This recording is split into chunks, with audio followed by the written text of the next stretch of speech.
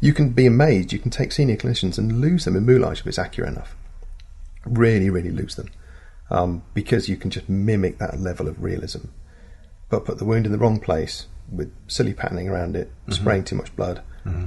and it just screams instantly false. Yeah. And then you lose that whole effect of raising their adrenaline level and, and immersing them in the world of simulation.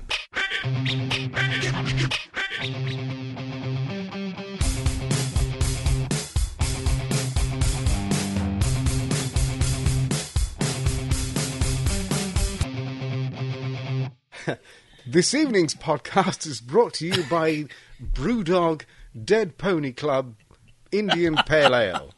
Um, mm, one of my favourite. Nothing like a, nothing like carbonated pony. Yeah. So Brewdog, uh, it's it's. I think they're a Glaswegian brewer, um, but they're fantastic. Yeah, they're very good. So I'm I'm I'm sipping one of these beers left over. I don't drink a lot of beer. I don't typically keep it in the house, but we've had some fantastic yeah. weather. We had some neighbours and friends over for uh, you know, barbecue, so I got a load of beers in, and this was the excess. So I feel it my duty to remove it from the refrigerator can by can. Of course, yes, a daily basis to try and reduce that. So that's what that's all about. Remove so, temptation from the rest of the family. Mm-hmm. Yeah, those kids can really knock it back, and they don't appreciate it. So. yeah, so um, so that's what I'm doing. And I'm then, still pretty alcohol free. Yeah, yeah. Are you enjoying that, or do you? Uh, you no, I I would I would love to be able to uh, down a, a, few cocktails every now and then, and okay, still just alcohol and blood thinners don't mix. Okay, well so. when, when, you get off of those, we'll we'll we'll, we'll, uh, we'll I'll come to you and we'll, we'll hit some bars and do that. Hell yeah! that sounds good to me. Colorado's just up the road, really, isn't it? It's the beauty of air travel. Yeah, well, we need to get you over here so we can do some workshops. People are clamoring for um, the battles with bits of rubber workshop tour. That'd be fun. Yeah, I'd like to do so. that. That'd be really good. Um, and we got um, the website it, it, it took a, a, bit of a not a nosedive, but it just it just kind of clammed up for a bit because the lady that's doing it all was sick and it all got a bit weird and I wasn't sure what was happening, but it's all fine, so it's it is happening, so that's good. But which is good because it, things have kicked off work wise for me. I'm doing um uh, I'm working on a on a a, a TV adaptation of Dracula, which is going to be mm-hmm. out in New Year's. Is that with the age makeup you're sculpting right no, no, that's for IMATS. For? That's for uh, IMATS. Oh. I've been putting pictures out of that, but no, the Dracula stuff naturally I can't talk about because I've signed NDAs and stuff. But uh, but yeah, that should be that should be a fun thing that comes out. I think New Year's, Christmas, New Year's time. So so that'll be out there. Yeah, I'll keep an eye out for that. So that's good, but that's taken up all my time, and I'll be going back to that like tomorrow. So, so yeah. So, uh, but the IMATS thing is really kicking my ass because it's one of those things where I, I, I, I plan to do more of it, as you always do, and then stuff happens, mm-hmm. jobs land in my lap, things happen, and then I end up going to Canada and blah blah blah, and it was all good, and then suddenly I'm like, oh shit, we've only got a month, and I'm still sculpting it. So like, I need to get this done. So, yeah, I preaching to the choir, Bubba. Yes, I see you posting up pictures totally of get and stuff that you're doing. So you've been making yeah. I've, not I've, small things I've either. got a big production of Beauty and the Beast uh, opens on May the fourth, and it's a long run. It runs from May fourth through close to the end of September. Oh my gosh! So I've got to build things to last because while it's a regional theater production and they've got a budget, it's not a huge budget, so mm. prosthetics have to last the run. But the way I've I've designed the beast is it's it's a I don't I don't worry about about seam lines or you know, or, or edges because the fur cowl gets to cover everything, and nice. I've got two two hero pieces that should last the run, and uh, there's a, a I don't want to say a stunt double, but there's a, a double that they use at the beginning of the show. So I've got three pieces, uh, all sculpted to fit the actor who's who's playing the part. So mm-hmm. shouldn't need any adhesive, but if they want to do a few little spot glue down points, and uh, it's soft silicone, so it's going to move really nicely, be able to emote. Uh, but there's a, a lot to build. Yeah. And they go into tech end of this week. So I got got to get my shit together. Oh my gosh!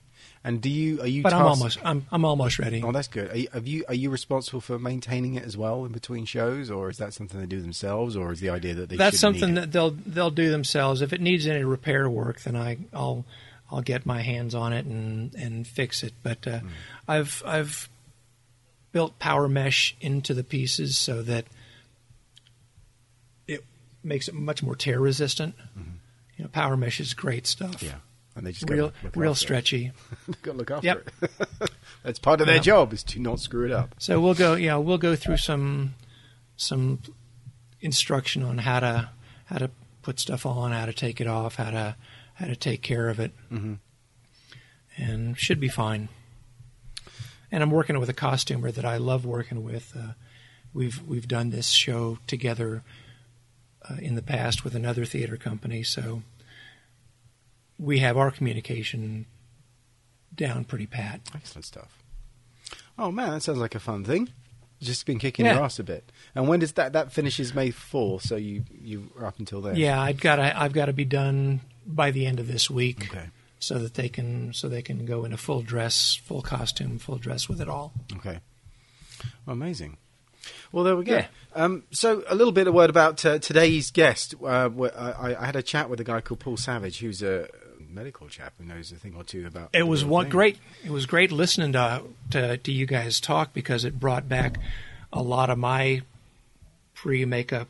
Yes, I was thinking back, that. Uh, my my my paramedic. Uh, well, I was an EMT, but uh, brought back a lot of a lot of interesting memories. Yeah, I can imagine you would, because I was thinking, you know, the, it's that crossover of, of, of medical knowledge with, you know, the makeup thing, um, because it, the two go quite well together. There's quite a few people I know who, are through nursing or doctor, or, you know, that kind of medical thing, that they make for good makeup artists when it comes to sort of casualty simulation because they they know it quite well. You know, know what like- stuff looks like. know what stuff looks like. Um, and the reason I wanted to talk to him was because he I, he kind of flagged it up as a, as a, as a, as an interesting thing because he had taught on um, on a, on a like a like a module for for some college students uh, the casualty bit of their course, their casualty makeup course, and um, he was quite surprised how little the students on there knew about you know the medical side of things, which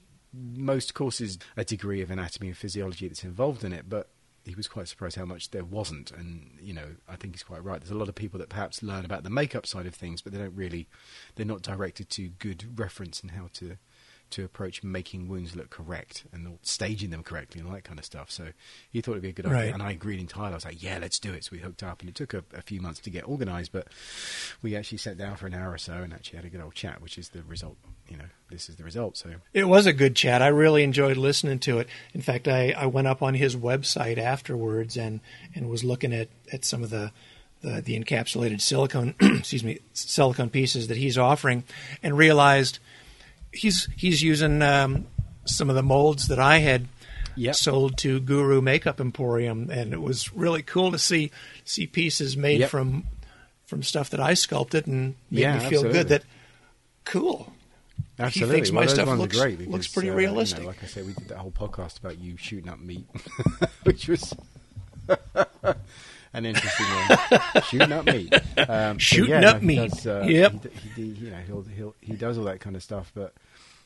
The, I mean, the makeup side of things is obviously important, but it's the medical use of it and you know how how it's interacted with. Because uh, one thing that he mentions, um, not that I get into it now, but he does mention, it, and this is one of those things that crops up enough, is the use of wax in medical simulation, um, because obviously, because uh, well, the, Mm-hmm. Ah, the, the trouble wax. is when you're when you touch it, obviously it gets damaged, and a lot of medical simulation people might, might get wax in for the people to use because sometimes what happens is the people who are organizing the event are not the people who are doing the makeup so they organize it. They're buying a bunch of things that they've had before or that they think they need because scar wax is used for making scars or whatever. So they get it in and then people use it. And then what happens is you've got five medics or five scenarios who've got to go through staunching a wound. You know putting a dressing on a wound and using pressure um, to, to close up a wound. And of course if it's made of wax it gets damaged. And so you know that's why things like silicone are quite good. And if they have to peel up a Exactly. So dressing, he- the you wax know, comes off with the that- dressing. That happens, but so you know, this is just something that happens with that kind of thing. But it's just that there are lots of things that don't necessarily occur to you from a maker point of view unless you've been involved in the scenarios, like somebody having hang-ups about their body. And like one of the things, if someone's got someone's volunteered to be a, a casualty, you know, one of the first things they'll do if, is, is to check the whole body. If they're going to represent someone who's unconscious, for example, they might not know where all the injuries are. They'll cut you down to nothing. You know, they'll cut all your clothes off. Probably for the scenario down to your underwear, but literally they, they cut the clothes off. Quite because they need literally. to search the body for Yeah. wounds so they can ascertain whether or not it's a serious injury.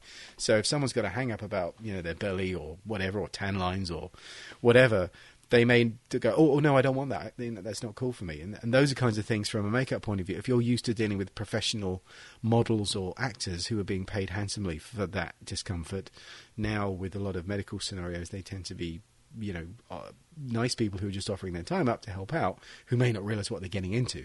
So it's kind of there's a whole other side of things other than makeup, which as a makeup artist you'll be responsible for. And I think a lot of makeup artists will consider or get involved in some degree of casualty simulation simply because it's a very good and useful avenue to practice your skills and be of use. You know, if you can't get on a movie because they're hard to get onto, you might help out some, you know, first aid groups or something. So it's possible more people do that. It's definitely a, a different mindset uh, involved in in casualty s- scenarios uh, where you're doing the moulage. I've I've done some stuff for Homeland Security here in the in the states, um, and as well as a, a paramedic training com- uh, program with with one of the hospitals here in here in Denver, um, where you'll get a brief where you see what what the scenario is going to be and what the wound has to look like, and then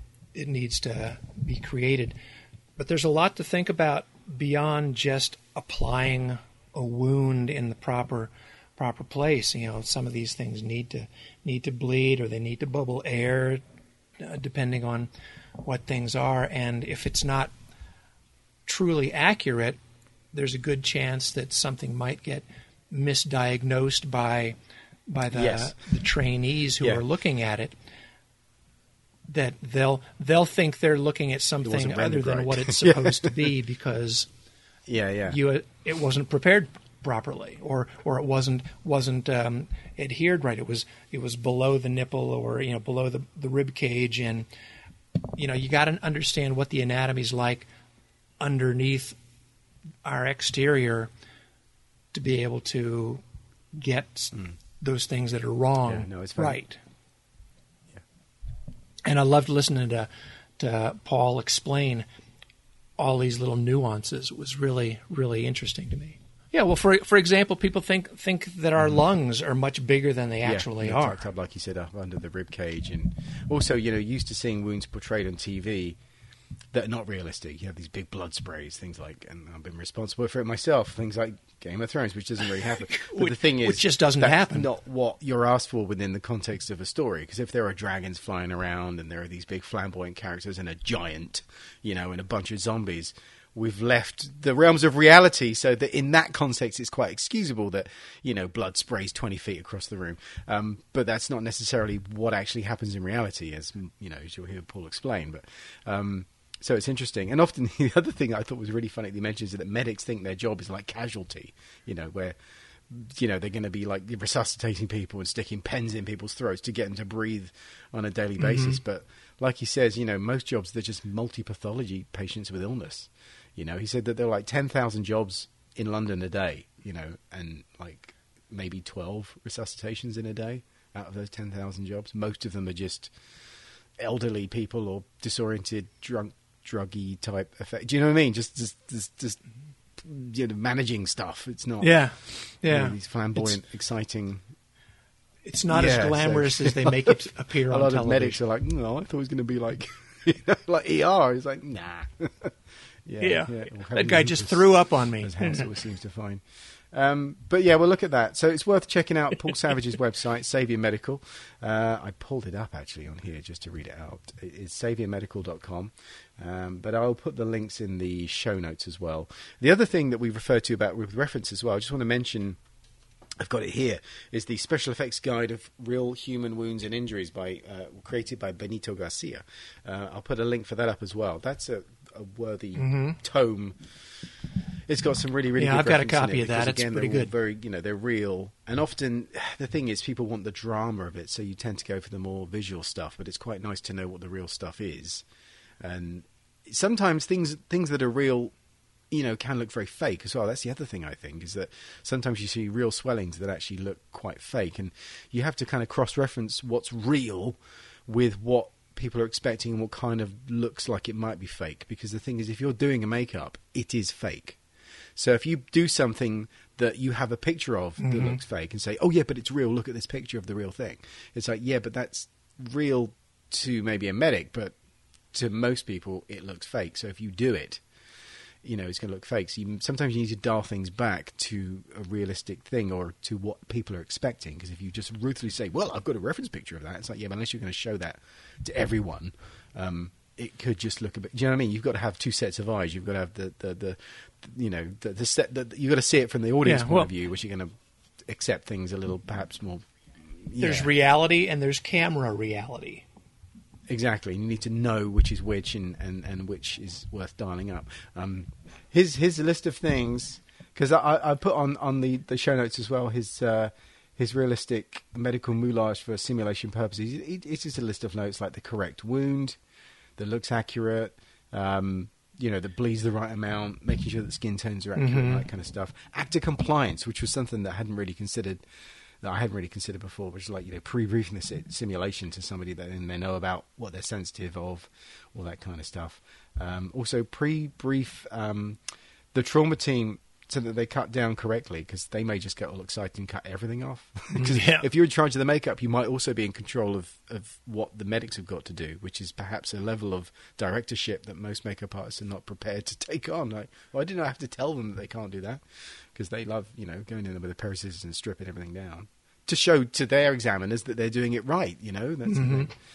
Uh, and also setting the scene as well, supplying the appropriate props, um, dressing the scene Oh yeah, and if, to if make the, the mechanism injury look if the victim is a is a pretty good actor, that can really help sell the sell the wound beyond the physical appearance of it is how they're whether they're crying or you know hysterical in some other way you know grabby and Mm-hmm. it's their their performance really plays into it so there's a lot of detective work on the on the part of the trainee trying to figure out what's what's going on because there may not be any physical outward signs of, of injury, but how the the victim is behaving or not behaving can can speak volumes to to the diagnosis. Yes, because they've also got to respond to treatment as well, um, and you know that's that's quite a tough thing. I think to be able to perform accurately in that circumstance, especially when you're close up one to one, where someone's trying to help you. You know, it is a simulation, but at the same time, you've got to within the confines of that story behave in a realistic way. So it shouldn't be underestimated the performance aspect of it. Yeah, no, that can it. it can definitely get when you can get inside the head of both the trainee and and the victim. You know, the fact that it's they they know they're doing a, a simulation, but they can actually forget that it's a simulation if it's realistically portrayed. yeah, which is amazing because that's part of their training, isn't it? To deal with the emotions of it. Yep. So, yeah, okay. Well, we'll cut to uh, to to our, my chat with Paul then. Uh, so have a listen to this and see what you think. It's yeah. Let us know. It's we love it. Stuff. Did I show you the Sick Rose as well? Did we cover that book? That's a great book. That's like medical illustration. Sorry, I'm just giving you all these things. Um, and it's like a history of um, medical illustration. You know, how do you show what yellow fever looks Why? like? in- Why? Why do I open there? why is that the page it naturally opens to? Is there a reason for that? It's my favourite. um, but yeah, you want to see yellow fever in Japan in 1500? Well, you know, That's put me off my dinner now. yeah. But from a makeup point of view, it's nice because they're renderings of things rather than photographs. Yep. So someone had to interpret it and turn it into colour, and Again, Yeah. very clever. it's really neat. Syphilis. Nice. So that's what Henry VIII looked like before he died. Probably Tertiary syphilis. a face like a caved-in floor. Be like, do you fancy a bit tonight, love? No, maybe not. No, you're good.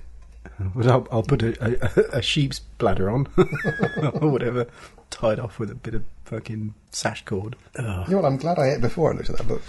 Yeah, it's good. it's a good, a good old read. But um, They're lovely books, though. yeah, that one was quite cheap. I had it years ago and I lost it, and then someone was mentioning something, and I remembered. Oh yeah, I remember that book. I looked it up and found it, and just bought it again. It's way there. so there we go. so, I guess we we want to discuss um, anatomy from a makeup point of view, particularly with a an emphasis on on a lo- an area of makeup which uh, a fair few people I think have had experience with, but it's it's creating casualty simulation scenarios, um, organisations that do this thing that have the staff that need to be trained, emergency services, and then a lot of people will perhaps be who involved in makeup will go towards it, and we've been having chats about things that are commonly just done wrong, like clinically incorrect, and how that can impact things. And I think, uh, well, I guess we should start with who you are, Paul, and what you do, and why the hell we should listen to what you've got to say. I wouldn't. I'd switch off now, but no. Um, you so know a thing or two about a thing or two. Yeah, my name's my name's Paul Paul Savage, and I've um, been in and around the hospital and pre-hospital arena now for about thirty years. And I suppose I've come at this completely opposite angle to yourself. So my interest and, and what has actually become a dirty hobby in in Moulage started um, actually back probably early two thousands. Sat in a rock pool in North Devon with a casualty that uh, we were going to try the local lifeboat crew with, and um, I looked at him and, and I'd drawn on his forehead with, with marker pen. And I thought how unfair it was that the, the people that were going to come and try and treat this would think, well, what do we got here? You know, catastrophic marker pen injury.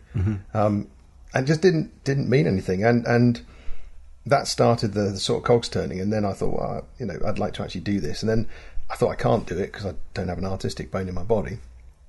And then I started to do it and found that you you could do it even if you're not artistic. And so, from a clinical point of view, from approaching this as a clinician rather than approaching this as a makeup artist who's then going to help clinicians, it was a case of um, have I got enough artistic in me that I can actually um, produce wounds that are passable? Mm-hmm. And then the whole thing sort of snowballed from there, and now it's become the the garage taking over, dirty hobby that it is. But it's it's coming at it from that different angle, and I think if this helps people who are doing um, makeup as a, as a professional career and maybe have gone to makeup school or university and, and done their courses, um, if this isn't covered as part of their syllabus, then maybe coming at it from that different angle as a clinician coming into it, as opposed to a makeup artist going into something medical. If there's you know any bits and, and words of wisdom that we can um, pass across that helps them, then then brilliant. Because I think it's it really throws you in the deep end when you're asked maybe you've not been around a medical scenario or you're suddenly asked to do a scenario you get that commission that you've been waiting from from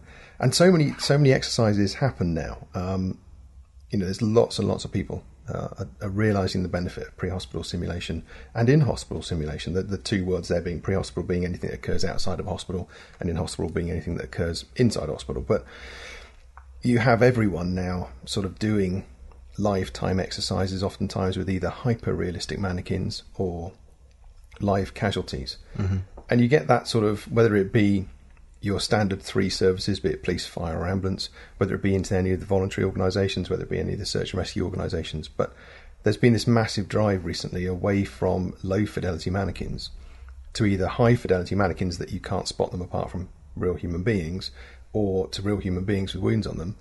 Because if you're placed in a scenario as a responder where someone's meant to be bleeding and you go up and you're just faced with a mannequin with a bit of red paint on it or something, it doesn't give you the complexity of the situation and likewise doesn't give you the emotion. Whereas if you arrive on scene to a really awesome actor who is screaming as well as having the wound and then starts to get into your head with, you know, don't let me die, I have children, and really starts to get into your head the way that a real human being at their point of crisis gets into your head. That suddenly the stakes are up. This isn't just someone with a wound, this is someone with a wound with a family, with children, with dependents. And that's the sort of stuff that clinicians have to put up with day in, day out. and try and have a filter to, to take out that filter, um, to try and be, you know, so focused on, on the initial life saving interventions, especially if it's pre hospitally. And so, without that realism, i if you come at it from a pure either beauty point of view or come at it from anything, you tend to, oftentimes, you see, if you observe these things, either an over egging, we've discussed already, and we'll, we'll talk more of the detail, but, you know, an over blooding, and that analogy that made us both laugh that you know, if you're throwing a nativity, then you do want a donkey. You don't want a unicorn with a rainbow mane, because that's not what the nativity should feature. It should feature a scabby old donkey, and just don't give them the unicorn with the mane because you can or you think you should. Oh, unless they ask for it. Well, yeah. no, but then check the check the person asking knows what they're asking for. Yeah, Otherwise, the person asking might think they need the unicorn yeah. when actually the realism is the scabby donkey. I mean, I I've been guilty of it myself, where I will think of the drama of something and making it look like the biggest bang for the buck, and I'll be focusing on my edges and trying to make it look like it's really part of the skin, and that because I don't have a clinical background, that will be my focus. So that part of it will be done competently, but it might be the wrong injury in the wrong place Yep. because I'm not clinically trained. And it's interesting, like we were we, we were bemoaning, for example, and I'm sure everyone's done it when they started, but you've got to be aware of it. Is this big fucking red perimeter of shit around a wound in an attempt to hide your crappy edges because you don't typically get that. Those kinds of things actually say, "Look, I don't know how to do this," rather than "Oh, there's no edge." You know what I mean? Which is in the attempt, isn't it? And I, Um, I think that's you know we, we can sort of break down. You're so right. You, you arrive on scene and someone's got a big wax proboscis on their head with this big sort of target of red and blue and black around it, which just isn't real. It doesn't look real, and it's not. It's not for want of trying. But I think you can you can split medical simulation, I suppose, down into into four areas. Really, it's it's who are you doing it for and why? What's the what's the purpose of the exercise that you've been brought in to provide the makeup for? Mm-hmm. All based around correct wound, etc. You then got to have a whole world of thought. Oftentimes, as the makeup artist, you're responsible for the actor that you're putting it on. And we'll come to that. And then the final bit of setting the scene, much like you said, a film. So, for the, for the sake of helping people through their journey, maybe those four sections are the ones to, to sort of focus in and delve in. Um, but I think if we, if we start off with purpose, you know, it's it's getting that like you'd get a makeup brief. I don't know if you were going to go and do um, screen makeup or stage makeup, you'll get a brief. Same thing, you want a, a decent brief of what the purpose of that exercise is all about, um, who you're doing it for, and what is the the end purpose. So, is it that they need hyper realism in the wounds because you're actually going to have people diagnosing those wounds, mm-hmm. or is it they just need a mass of wounds in the right places because actually the interventions are quite quick? And sometimes it breaks your heart because you can you can turn out flat mold, for example, and apply it and blend it and put the right amount of blood on it, and it looks awesome. And it might have taken you 30, 40 minutes to get that pace, and maybe you know part of the day before making all the pieces. And then the medical intervention's less than a minute because someone's screamed up and gone, "Oh yeah, that's that wound." Slapped a mm-hmm. dressing on it and moved on to the next patient. And you're like, mm-hmm. that took me ages, but you know it is what it is. And I think it's if you actually get that result, then you produce the right level of realism because the right intervention, the right clinical interventions occurred. So I think it's it's check with the team you're doing it with. What's the purpose? Who are the responders? What level are those responders? What are they going to be doing? What interventions are you expecting them to do the patient? And what is the purpose of the exercise? Because you can spend a lot of time creating perfect wounds, and by that I mean visually, photography, film perfect wounds that aren't needed. Or the flip side is you just stick on a bit of wax and it is very much not good enough. And I think there's that middle ground that we can come to when we look at this sort of wound thing. But sniff out that purpose first of all. Find out who, what, when, why, how, and, and take that detailed brief. Don't just take the oh yeah, I'll come along and rock up and do some makeup for you. Yeah. Um, find out why. What are they trying to achieve, and, and where and when. Um, and numbers and planning. So a lot of these exercises might have 10, 20, 30, 40 patients. And you need to find out are you doing it on your own? Are there some that, you know, because again, sometimes organizations will bring an artist in and say, well, you do 10 and another artist does 10. And then you find that you're turning up with flat molds and someone else is turning up with half a boiled egg. They're going to literally sell a sellotape onto somebody and call it a bruise. And then the whole exercise gets skewed because it's not a, a level performance across the piece. Hmm. So I think that whole detailed brief, how many am I responsible for, and then look at timings. You might have to stage people, bring them in, do your most complicated first, get those pieces glued on, get them stabilized, bring in simple ones to fill the gaps. But it's all about timetable. So there's a lot of work, I think, to be done pre-exercise. There is, and knowing your abilities and the, your team's abilities, you can carve out that time. Because I think a lot of people perhaps don't realise. I mean, if they've done it before, they might know, or they had someone who was shoddy do it quickly before. You might go, "Oh, it takes forty minutes to do that," and you go, "Well, yeah, this is a really complicated thing." So it's it's standing that ground, isn't it, and making sure that they've got forty minutes. You know, have they got access to that room only ten minutes before the scenario? It's like, well, we can't get in until nine, and it's like shit. You know, so the helicopter has to leave at three, so we've got to get everything done by X amount of time. And also segueing back to one of your previous podcasts, Know Your Worth. Hmm. Because if they have had someone shoddy who's used joke shop materials and a bit of latex and a bit of tissue paper and walked away, and maybe said, "Bung us twenty five quid, I'll do your exercise for you." When you are dealing, especially with the big three, police, fire, and ambulance budgets are incredibly tight. There's not a lot of money for for high end stuff, and you cost me fifty quid, um, and they might bulk at that. Let alone your time and, and effort. So I think it's it's setting that realistic piece as well. From that, I love that you know your your analogy of what does it cost you to stand still, and work out a realistic price because there'll always be someone who'll go in less, and oftentimes they'll take the less and then they realise why it's less. And I think that's the same across any bit of makeup element that you do. But There's a uh, there's a, a, a writer called Seth Godin. Um, I may may have mentioned him before, and he has a, a very good quote where he says, uh, "The danger with being the race to the bottom is you might win, or worse come second. It's just like you don't want to be the guy that's that's doing this for no money because the work is still Yeah. got to be done, and you'll I'll- just have a shit time doing it. So I'll pay you to come and do your exercise. Yeah. um, so that I think there's a there's a large piece to, to do to talk to people to work out exactly what um, they need before you even get there, and then as part of the planning stage, I suppose when you think about the actual wounds, um, so many wounds that are portrayed aren't real. Um, and you'd be amazed, even some of the stuff on the high-end television. I'm, I'm the worst. I uh, I got very grumpy on the sofa the other night. It doesn't matter which program, but there's a program on mainstream BBC that specialises in a lot of dead bodies. Witless Silence, I think it's called. And um, it was, you know, it was absolutely stunning that one episode had awesome makeup, and the next episode, it looked like someone had taken a bit of sculpture and just whacked on somebody's throat, had no edges, drew a line in it with a biro, and put some duff blood in it. And you're thinking, wow, this is a really important TV show. And that's a really important wound in the important TV show. And it just looked horrendous. And it, it's that sort of.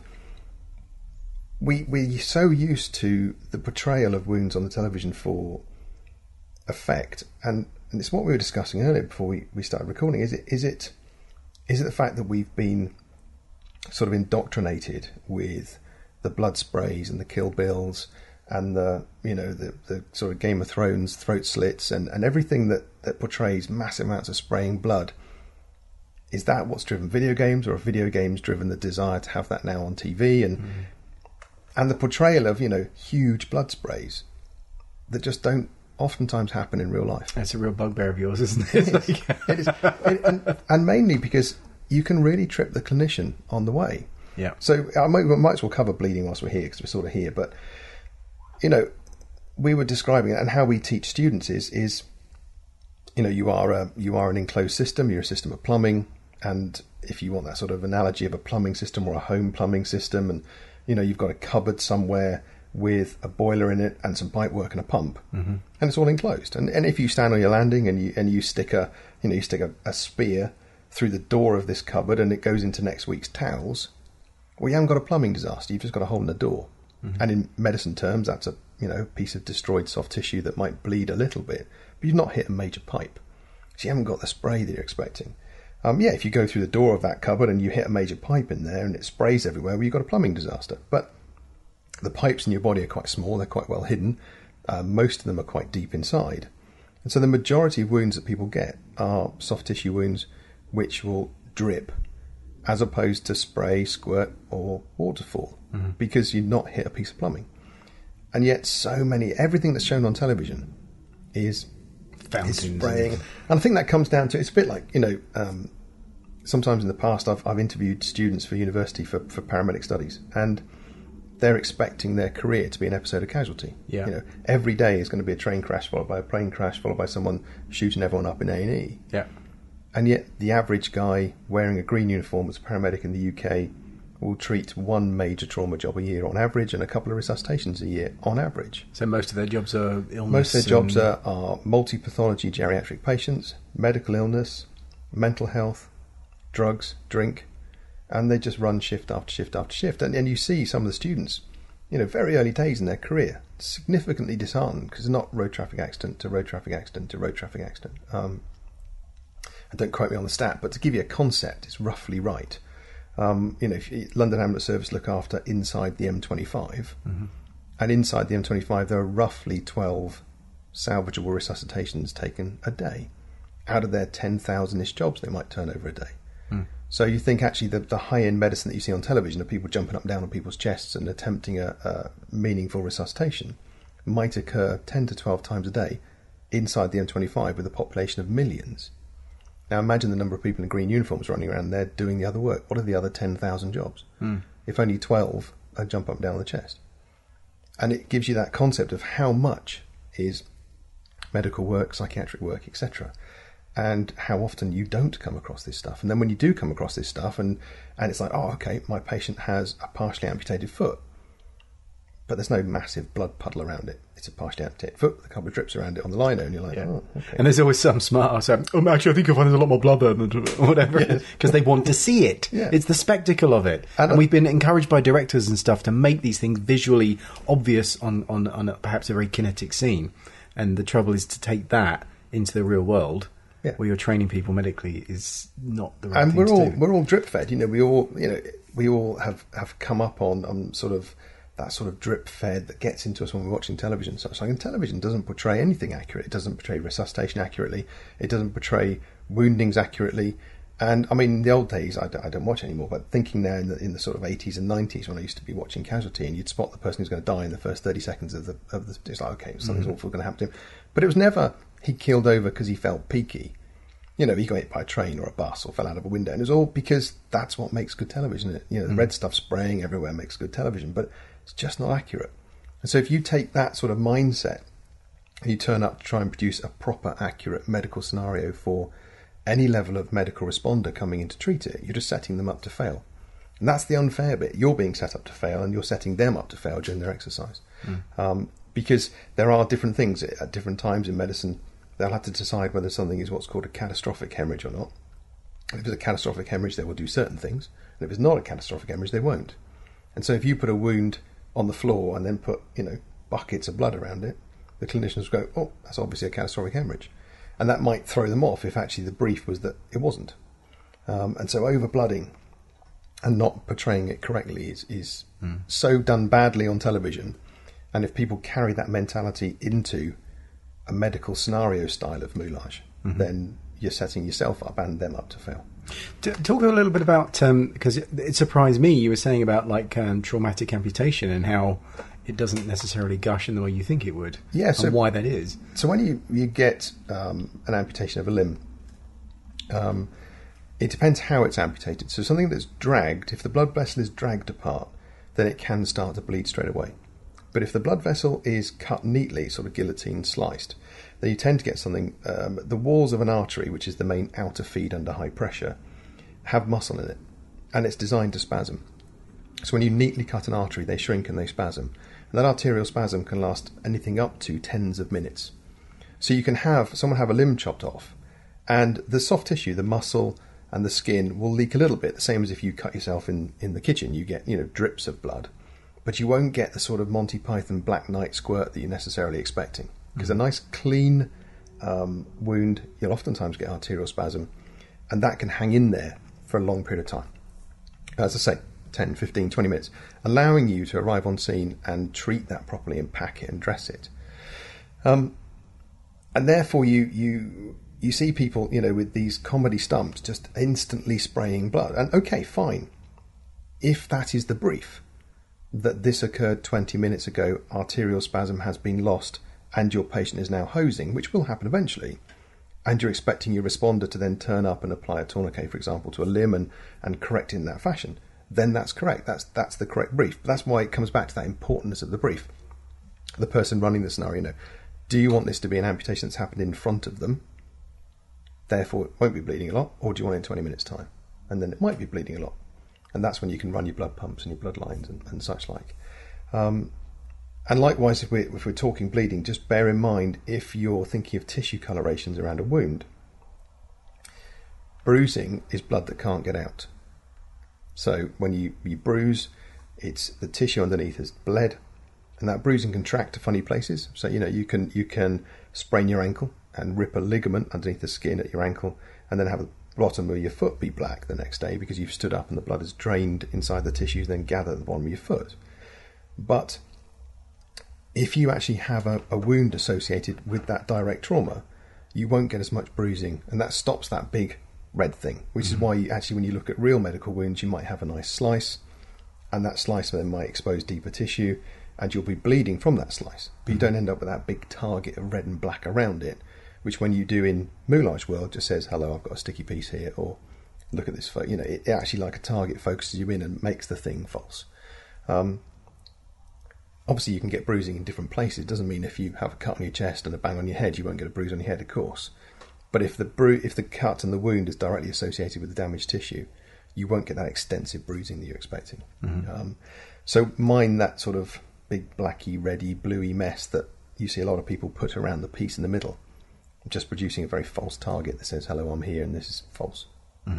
And actually, a lot of times, medical responders can mistake that for burns because they know a wound doesn't look like that. They've seen wounds, so when they rock up and see something that looks like a bluey black target, they're like, "Oh, is that a burn then? What's my patient meant to have? Are they meant to have a burn or are they meant to have a bleed?" It's that sort of thing. It's curious, isn't it? It's almost like you're better just to leave the, the, the worse edge because that's clearly the edge of the piece rather than, like you say, if you make it that sort of darker colour, it could be mistaken for a different thing. And Yeah. if you've got a guy there with a clipboard saying, no, no, no, it's, it's, it's supposed to be this, you've got to like actively forget what your brain's trying to tell you from a medical point of view. So Yeah, so it's it's that it's again you don't want to set yourself up to fail, mm. especially if you want repeat work, and you don't want the medical professionals to start arguing at the point of feedback when you know the thing was meant to have a dressing and it got cooled in cling film because they thought it was a burn, and then the guy who's been especially if some of these are for exams or for things like that, and the guy who's been accredited will go, sorry, you know you failed because you put water and cling film on a cut. Well, it didn't look like a cut, mate. It looked like a burn and that's that's not good for anyone. You know, that's that's not where you want anything to be. So I think you know, number one, let's not overblood things. Number two, let's make those those skin tones accurate for what's gone on.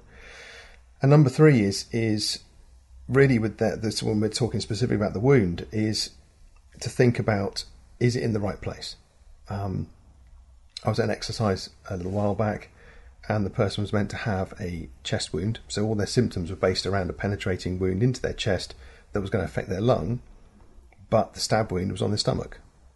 And that's excusable because the person who applied the wound didn't know where the lung stopped and the stomach started, for example. And I think if you're going to get into this work, just have a quick look at, at surface anatomy, not at, at crazy level, but understand where your lungs stop. Because, for example, lungs are the classic ones. People put their hands right on the bottom of their rib cage, assuming that their lungs go all the way to the bottom of their rib cage, and they don't. You know, on the average chap at the front, your lungs stop around your nipple level, go slightly further down at the back, but south of your nipples, on the right is your liver, coming to the midline, on the left is your spleen. Between them is your stomach, and then behind those two is your kidney, slightly further down your pancreas. And it, it's understanding that everything crucial to live is in your rib cage, and what's not in your rib cage is just intestine. So if you put, you know, if you put uh, a wound uh, anywhere outside of the rib margin, you're just in guts. Um, but if you put it on low rib margin, you could be at the back, you could be kidney territory. At the front, your liver and spleen territory. And again, a responder's not going to look at that wound in the right location. Let's say it's a chap and you've gone three inches south of a nipple, then that's not going to get the medical treatment for a penetrating wound of the chest, which would be a chest seal, for example. It's going to get a dressing because they're going to go, mm, that's a liver that's bleeding. I'll put a dressing on it, apply loads of pressure, and think about what's going to happen if a liver's bleeding inside, for example. So you're not going to get the, the respiratory symptoms you'd expect with lungs. So suddenly you've got a guy acting a lung injury, and the medical responder's looking at a liver injury. And they're both tripping each other up. Because then you've got someone, especially with an exam, thinking, wow, is this some funky condition I really don't know about? where you stab a liver and suddenly well, their breathing goes really, really weird, like they've got a hole in their chest. No, it's just because the wound's been put in the wrong place. So I, I, I, it's again, you, you trip each other up. Yeah. And some of this does come down to performance.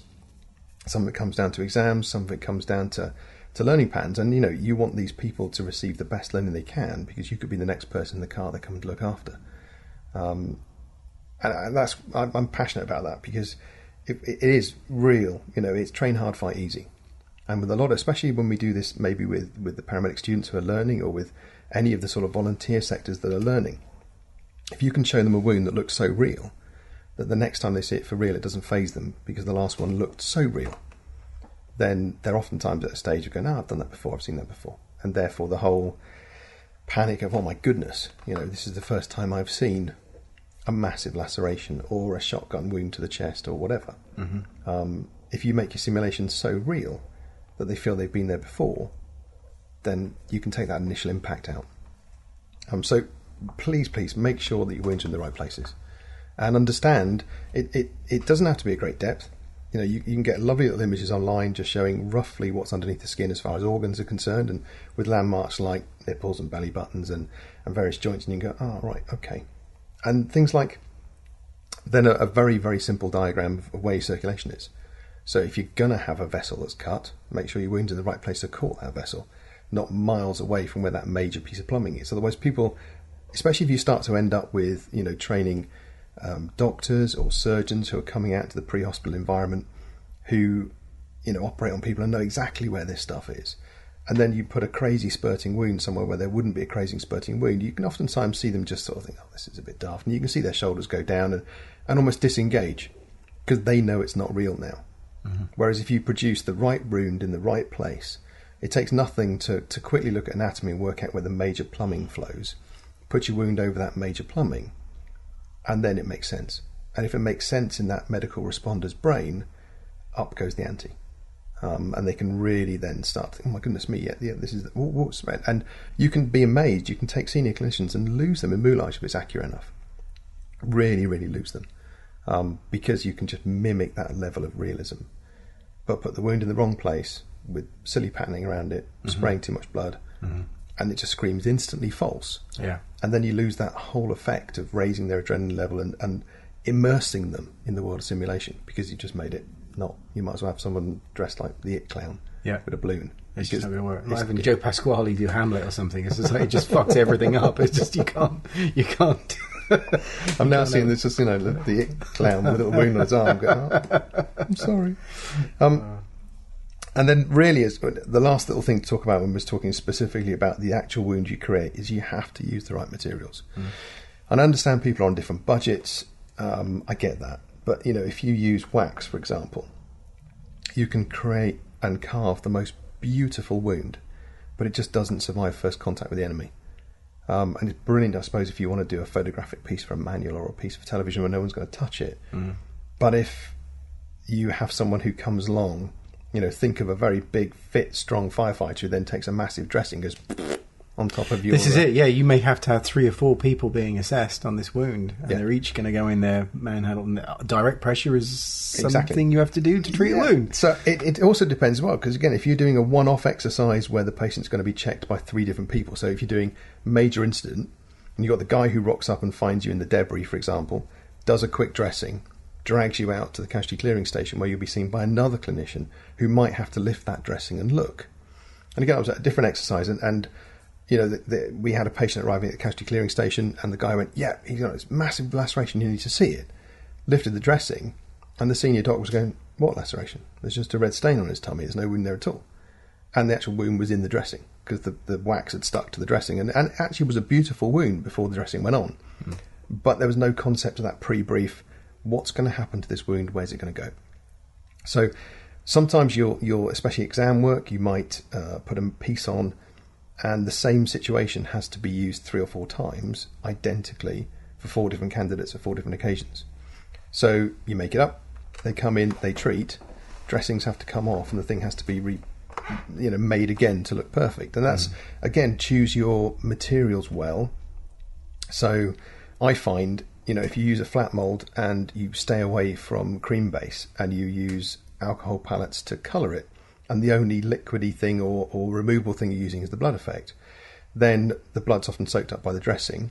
But at the end, you can give it a quick wipe off. All your alcohol colouring's still there, and all you have to do is redress it with the blood and walk away.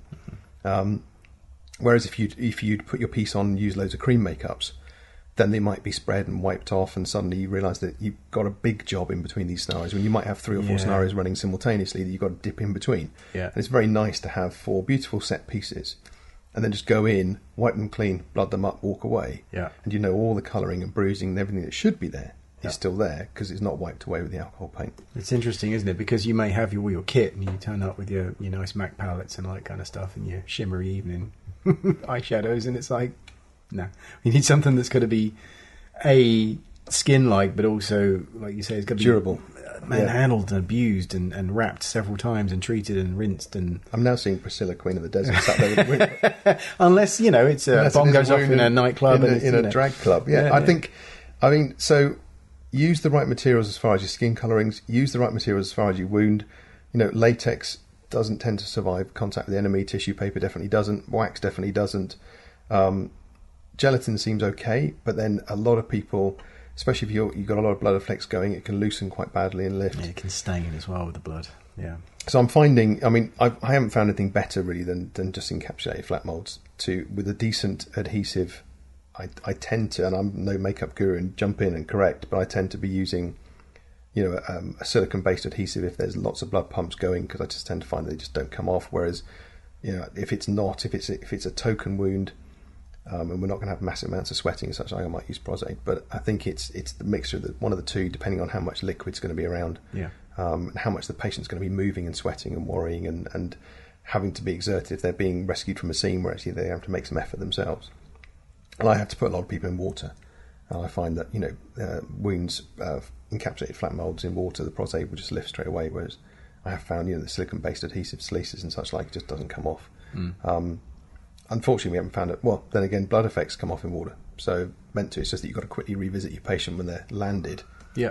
But then again, when you land a real patient out of water who is bleeding, Actual siren going off. aren't actual Yeah. siren. so when you when you land a real patient who's bleeding, you know it takes a while for the blood to start to appear anyway because it has all been washed away in the water. Mm. So you can sort of just play, oh, pause for one second, come in and just gently make it up and, and let it go. But if the the bulk of it's been done with stuff that won't wash off and won't wear off, um, but I think that's the main things when you're thinking wound in medical moulage. Think right, less is more. Always less is more. Go for the right skin tones. Don't put massive targets around them. Don't make people think that bleeding is burns. Make your skin tones accurate. Make your bruising accurate. Um, make the position of the wound accurate and appropriate. And um, just make sure that you use the right materials, whether it be alcohol palettes for your skin toning so it doesn't wipe off, and silicone, etc., for your wounds, so that you've got the durability there. Um, and you've not got things falling off. It's it's just embarrassing, isn't it? If you if you're running something and you've especially if you've been paid to be there, and people are looking at you with that sort of raised eyebrow because everything's meant to be stuck on a patients now in the bottom of the dressing, and and they, they just don't know what they're supposed to be treating. And then from an exercise perspective, if you're running that, and I'm often on the, on the cent, I, I tend to do a lot of work where I make people up and then run the exercise as well. But if I'm running the exercise up and haven't done the makeup and all the wounds start to fall apart, you see your whole exercise fall apart. And hmm. they're not cheap to, to lay on. You know, you've got a lot of staff there, and you might have taken over a premise at night or taken it, and you've just got a lot of people giving their time and, and gear. And I mean, on some of these big exercises, you can burn two, three, four hundred pounds worth of dressings of people using real dressings at real time on people. So you want it to be as real as you can. Yeah, you were mentioning that. I remember doing some casualty simulation stuff, and I had some either quick clot or hem clot. I can't remember what it was. And they also had a dressing they called an Israeli bandage. Yep. Which was I don't know if that had stuff in it or, or what. But can you talk a little bit about the the, the blood thing? Because obviously, if you get a bleed in a femoral artery where there ain't nothing to tie off, unless you got a pair of forceps or something, you need to pack it in there. Yeah, uh, The- well, your three major tools for proper bleeding, as opposed to I've cut myself on a tin can at the sink bleeding. So, your three major tools for bleeding are a decent trauma dressing, which is a high, robust type dressing, and the two main kids on the block there is the Israeli, which is is called the Israeli bandage, or the ECB emergency care bandage, and that's sort of one that's favoured, for example, by the British military. That's now the standard British military first field dressing. Um, and then you have another one called the Olaes, which is made by a different company. And for example, that's pretty much the first field dressing for the ambulance service in the UK. So it's like saying, do you want a BMW or an Audi? You know, pay your money, takes choice. They both get you there, and they're both a German car. So it's, you know, there, there's some they there's certain bits of ben- a decent trauma dressing, and we're not talking bizarrely. The one thing you don't, which is the old trauma dressing of the 60s and 70s, Right. that now features in all HSE first aid kits. And the little one you got over there, if you open it up, it'll be ambulance dressing number two and ambulance dressing number three, which are never used on ambulances anymore for anything more than tiny little nicks and bends because they don't stop massive bleeding. They're they're a very simple, not that great pad on a very simple, not that great bandage, which is fine if you've cut yourself at the sink, which is what the HSE first aid kit's all about. Cutting yourself in the sink. It's not, you know, no one runs towards someone whose arm's hanging off with an HSE little green box, and I'm sure I can sort it with three rusty safety pins and a triangular bandage because it's not the deal. So you've got major trauma dressings. That's that's your ECB, your Israeli, or your Olaes. Um, and then your next level up is, you know, you, you can take because we look at a sort of stepwise approach to hemorrhage. Your next level up, if appropriate for limb bleeding, might be tourniquet. Tourniquets are very much in these days, um, and they're they're not going to go out. They you know they've come in since 2005 and they've stayed in. Um, For our American friends, tourniquet. Oh yes, but uh, yes, so um, they're pretty much there, and, and most of the the successful devices are based on a windlass type system, and there's a variety of, of, of makes and manufacturers. And again, you pay your money, takes choice, but you're looking at a windlass device which goes around a limb and tightens really hard, and in doing so squeezes the soft tissue against the deep vessel, primarily the artery, and then stops blood supply. Um, and again, cutting those myths, you know, you put a tourniquet on a limb doesn't mean the patient's going to lose the limb below that tourniquet. It's not the case. And when you come to tourniquets, of course, you can then do funky things in the moulage world. So if you want a piece that's aggressively bleeding, again, going back to that pre-brief and correct wound, if you if you want a piece that's aggressively bleeding, and that's what the scenario leads for, then have a lovely big flat mold. You know, run your bloodline uh, like a nice soft silicone bloodline under the piece, and then bring it out into the wound. And then, if a tourniquet is applied correctly to that limb, it should actually squeeze down very early before it even squeezes the limb. It should squeeze down on top of the flat mold, on top of the silicone piece, and actually will stop bleeding the way that bleeding should be stopped by a tourniquet. But it means you don't put your actor through the hell of a tight tourniquet because they are incredibly painful. So again, hiding a bloodline under the piece, or if your piece isn't that big, you know, selective use of clothes to hide um, the bloodline. But we'll come to how that fails in a minute when you get all your clothes cut off you. But you might have a bloodline running under clothes, and again, you can you can actually cease the false bleeding by the correct application of a tourniquet, which is quite funky. Yeah. Um, and then the last one being hemostatic dressing. So that you're saying that there's QuikClot, there's Hemcon, there's Celox, um, and a variety of others. But they're basically um, clotting agents, either sort of shellfish based or clay based, inside a dressing. That when you place on a bleeding vessel, for want of a better term, it's not cauterize it because there's no heat involved these days, but they, they cease bleeding. By a chemical reaction, they cease bleeding. And highly, highly effective on wounds that are massive, but you can't tourniquet due to location. So, for example, it's the it's it's like the, the Black Hawk Down groin wound where they can't tourniquet. It's right in the crease of the groin, and they were trying to get that that vessel, and they had it at one point in there in the fingers, and it slipped up. It's that sort of stuff that's awesome with hemostats these days. Um, you won't often find live hemostats used on exercise unless it's a very high end exercise because they're still 20, 30 pound a dressing, and you can really ramp your exercise cost up if you're using live hemostats. Um, but oftentimes they might be a normal simple gauze that's a pound of gauze, just written as if it's a, a hemostat, but it still needs to be used in the same way. And that's another thing that comes back to your wound robustness because hemostats need to be packed into a wound, and then that pressure of packing maintained. And if your wound is, is wax, it's not going to survive first contact with the hemostat at all.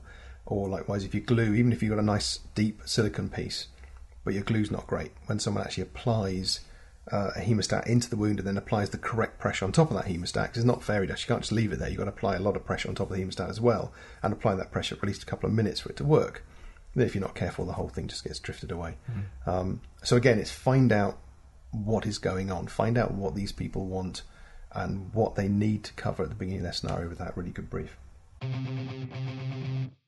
And I think the last thing that I found out from you that blew my mind in a sad way is, uh, you know, I was I was hoping to be able to pick the brains of, of you know, a, a makeup guru like yourself and go, oh, how do I do that slit throat like Game of Thrones when I do want to create a wound in front of somebody like an attack and, and I don't want the blood spray, but I want to actually cut skin, blah, blah, blah. And then you tell me it's all done post production. And it's like, no, it's, it's my whole, my whole dream of, you know, the whole concept that the blade isn't even there and it's all put in digitally afterwards. Sometimes, sometimes it is, sometimes it isn't. I mean, a lot of it is the, the practicality of cutting that skin live, and yeah, yeah, there are quite a few occasions where they put the blade in afterwards, just because it's safer as well. If it's a very sort of you know, kinetic and safety is crucial, but Yeah. it does mean that if you're desperate for that effect, Yeah, at a at a at a non-professional TV level, it's almost impossible to create. in and we're we're looking at, at new techniques and and some people that uh, are looking at things like what's called no sharps training, where they're trying to move away um, from anything sharp, be it scalpel, needle, on an exercise scene. And but if you, you and you can cut certain sort of surgical tapes, sleek and such like with with plastic spatulas. what is But- the reason for that? Is it is it to make it safer so that more training can happen? Yeah, so so there's certain surgical techniques that you might do in a pre-hospital environment, either a surgical opening of the airway, so you know because the big biro thing doesn't exist, you don't take out the contents of a bic and hammer it in the front of someone's throat. That's not the way you, you do it. Um, but actually creating a surgical incision across an airway for an airway that needs opening at the throat level rather than the mouth or, or back of the, the sort of airway level.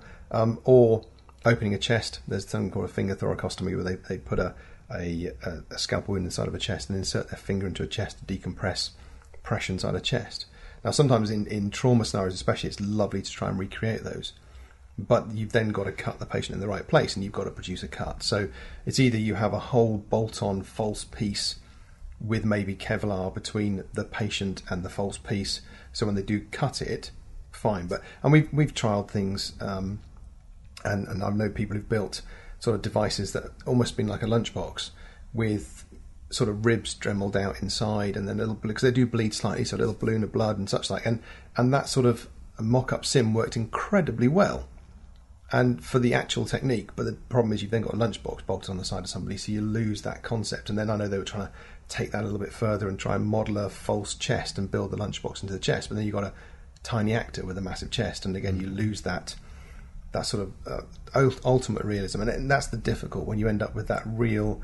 I need to do this this complex surgical procedure. It needs to be done well with the right anatomical landmarks because the person who's doing it will be counting down rib spaces and, and putting the incision. The incision does go anyway because in a very specific position. Um, and likewise, the, the throat one has to go in a very, very specific position because it has to go through a certain cartilage at the front of the throat. It's not just any old thing. It's it's it's open up this piece of tissue, um, and it, has to it has to go through between two cartilages across this membrane, and it has to be that membrane, and they'll feel it. So the anatomy's not right, it's not right. So it depends again where you're going with that level of realism. I guess the other element is you've got yourself, you're doing your makeup, and then you have your performer, and this may or may not be a professional actor. Yeah. Probably not a professional actor, just a willing volunteer. Yep. Um, so And that's the that's the next bit is because almost stepping that little bit away from the physical makeup is oftentimes the people who've asked you to do this are clinicians themselves running a course. So they might be, you know, they might be firefighters who have a, a, a tend towards medicine. They might be police officers who have a you know who are looking after the medicine for the police force. It might be the ambulance service, but they're not going to be you know people who are used to setting up film sets and dealing with actors. So they'll put out a, a request for good willing volunteers, and so you have the great and the good rock up who are prepared to help you out. But again, they're going to arrive with not a lot of preconception of what's going on, and everyone brings their own issues to the party. And I think it's really, and as oftentimes the the person running the exercise because they're not used to the film world will assume that ah the makeup artist will just look after all the casualties, done.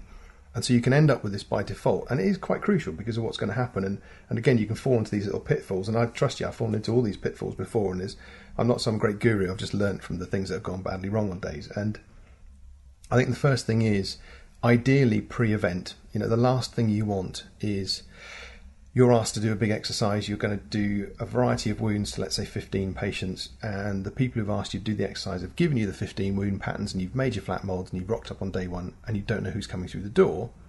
Um, and I've been in places assuming um, that 15 people are going to walk through the door, and 15 people walk through the door of the complete opposite skin tone to all my pieces. And I've gone, oh, rats. None of this is going to work now. And I think it's, or you end up with real intensive sort of, you know, palette stippling to try and hide your piece that's completely inappropriate for what you've been. So, print if you can get ideas of who's coming, it's such a help because one, you know, find out who they are, what they are, but most importantly, find out, start to allocate patience um, to their role, or allo- allo- no, no, the way around. I suppose allocate your volunteer to the patient role. Because what I mean by that, I, I fell foul. I was I was doing a big exercise. and I was chatting away to this this lass, and we gave her a really lovely open fracture of her leg, and she loved it. She was quite into the makeup, and she was you know she was really cool about it. And then we said, right, we're ready for you. Yep, we're going to pop you out to the scene, and then the guys are going to come. And the scene was a car, and the car was all you know smashed up, and it was a, a patient, a front seat driver with a with a nasty leg fracture. And she froze at the doorway and said, I can't do it. And you know the thing's going to roll in three five minutes time, and I'd not pre-briefed her about where she was and what was going to happen to her. And I went looked at her and she said, "My parents died in a car crash. No way I'm getting in that wrecked car." And so she she had her own 101. She had her own issue that she came with. She didn't need to declare that issue. She was coming as a good willing volunteer. But suddenly we've stirred up a whole load of emotion that we didn't know was there. And you'd be amazed the number of people who have got either friends that have been affected by something or, um, you know, it's a dreadful one that, that catches you out sometimes. Um, quite a lot of scenarios I have to do might involve a hanging. Hmm. And the number of people who are like, no, no, I can't be anywhere near that because either somebody I knew hung themselves or indirectly I knew or no, I'm not Yeah, having anything to do with it. by it. And it's that sort of, or, you know, you do a deliberate self harm wound and, you know, you do someone with sort of lots of slashes up the, their arm and the number of people are like, no, I can't do that because of something that's happened to me in life. So it's crucial to look after these people that come. You can't slap on makeup on a good looking because they're not paid. You know, none of these people in medical simulation are usually paid as actors. They are good looking, uh, good looking, good willing volunteers who end up not looking great because they end up looking mashed. But I think that you know they're they're giving their all, and it's crucial, crucial that they know what they're stepping into. So that pre-brief of right, I need someone who's happy to have a massive burn on their face. I need someone who's going to have, and let them self-select. Then it's like right, okay, so Mavis, you're having the face burn. Is that cool? Yes, it is. Right, and then you brief them on the thing you're going to do to them. And I think so. First of all, self, let them self-select where you can, but make sure that they know what's going on from that point of view. Um, that way, you're not stepping on their own sensitive sort of room 101 issues. Then, sort of pre brief them and explain to them where the wound is going. Because, again, we all have, you know, there's bits of us we like and there's bits of us we don't like.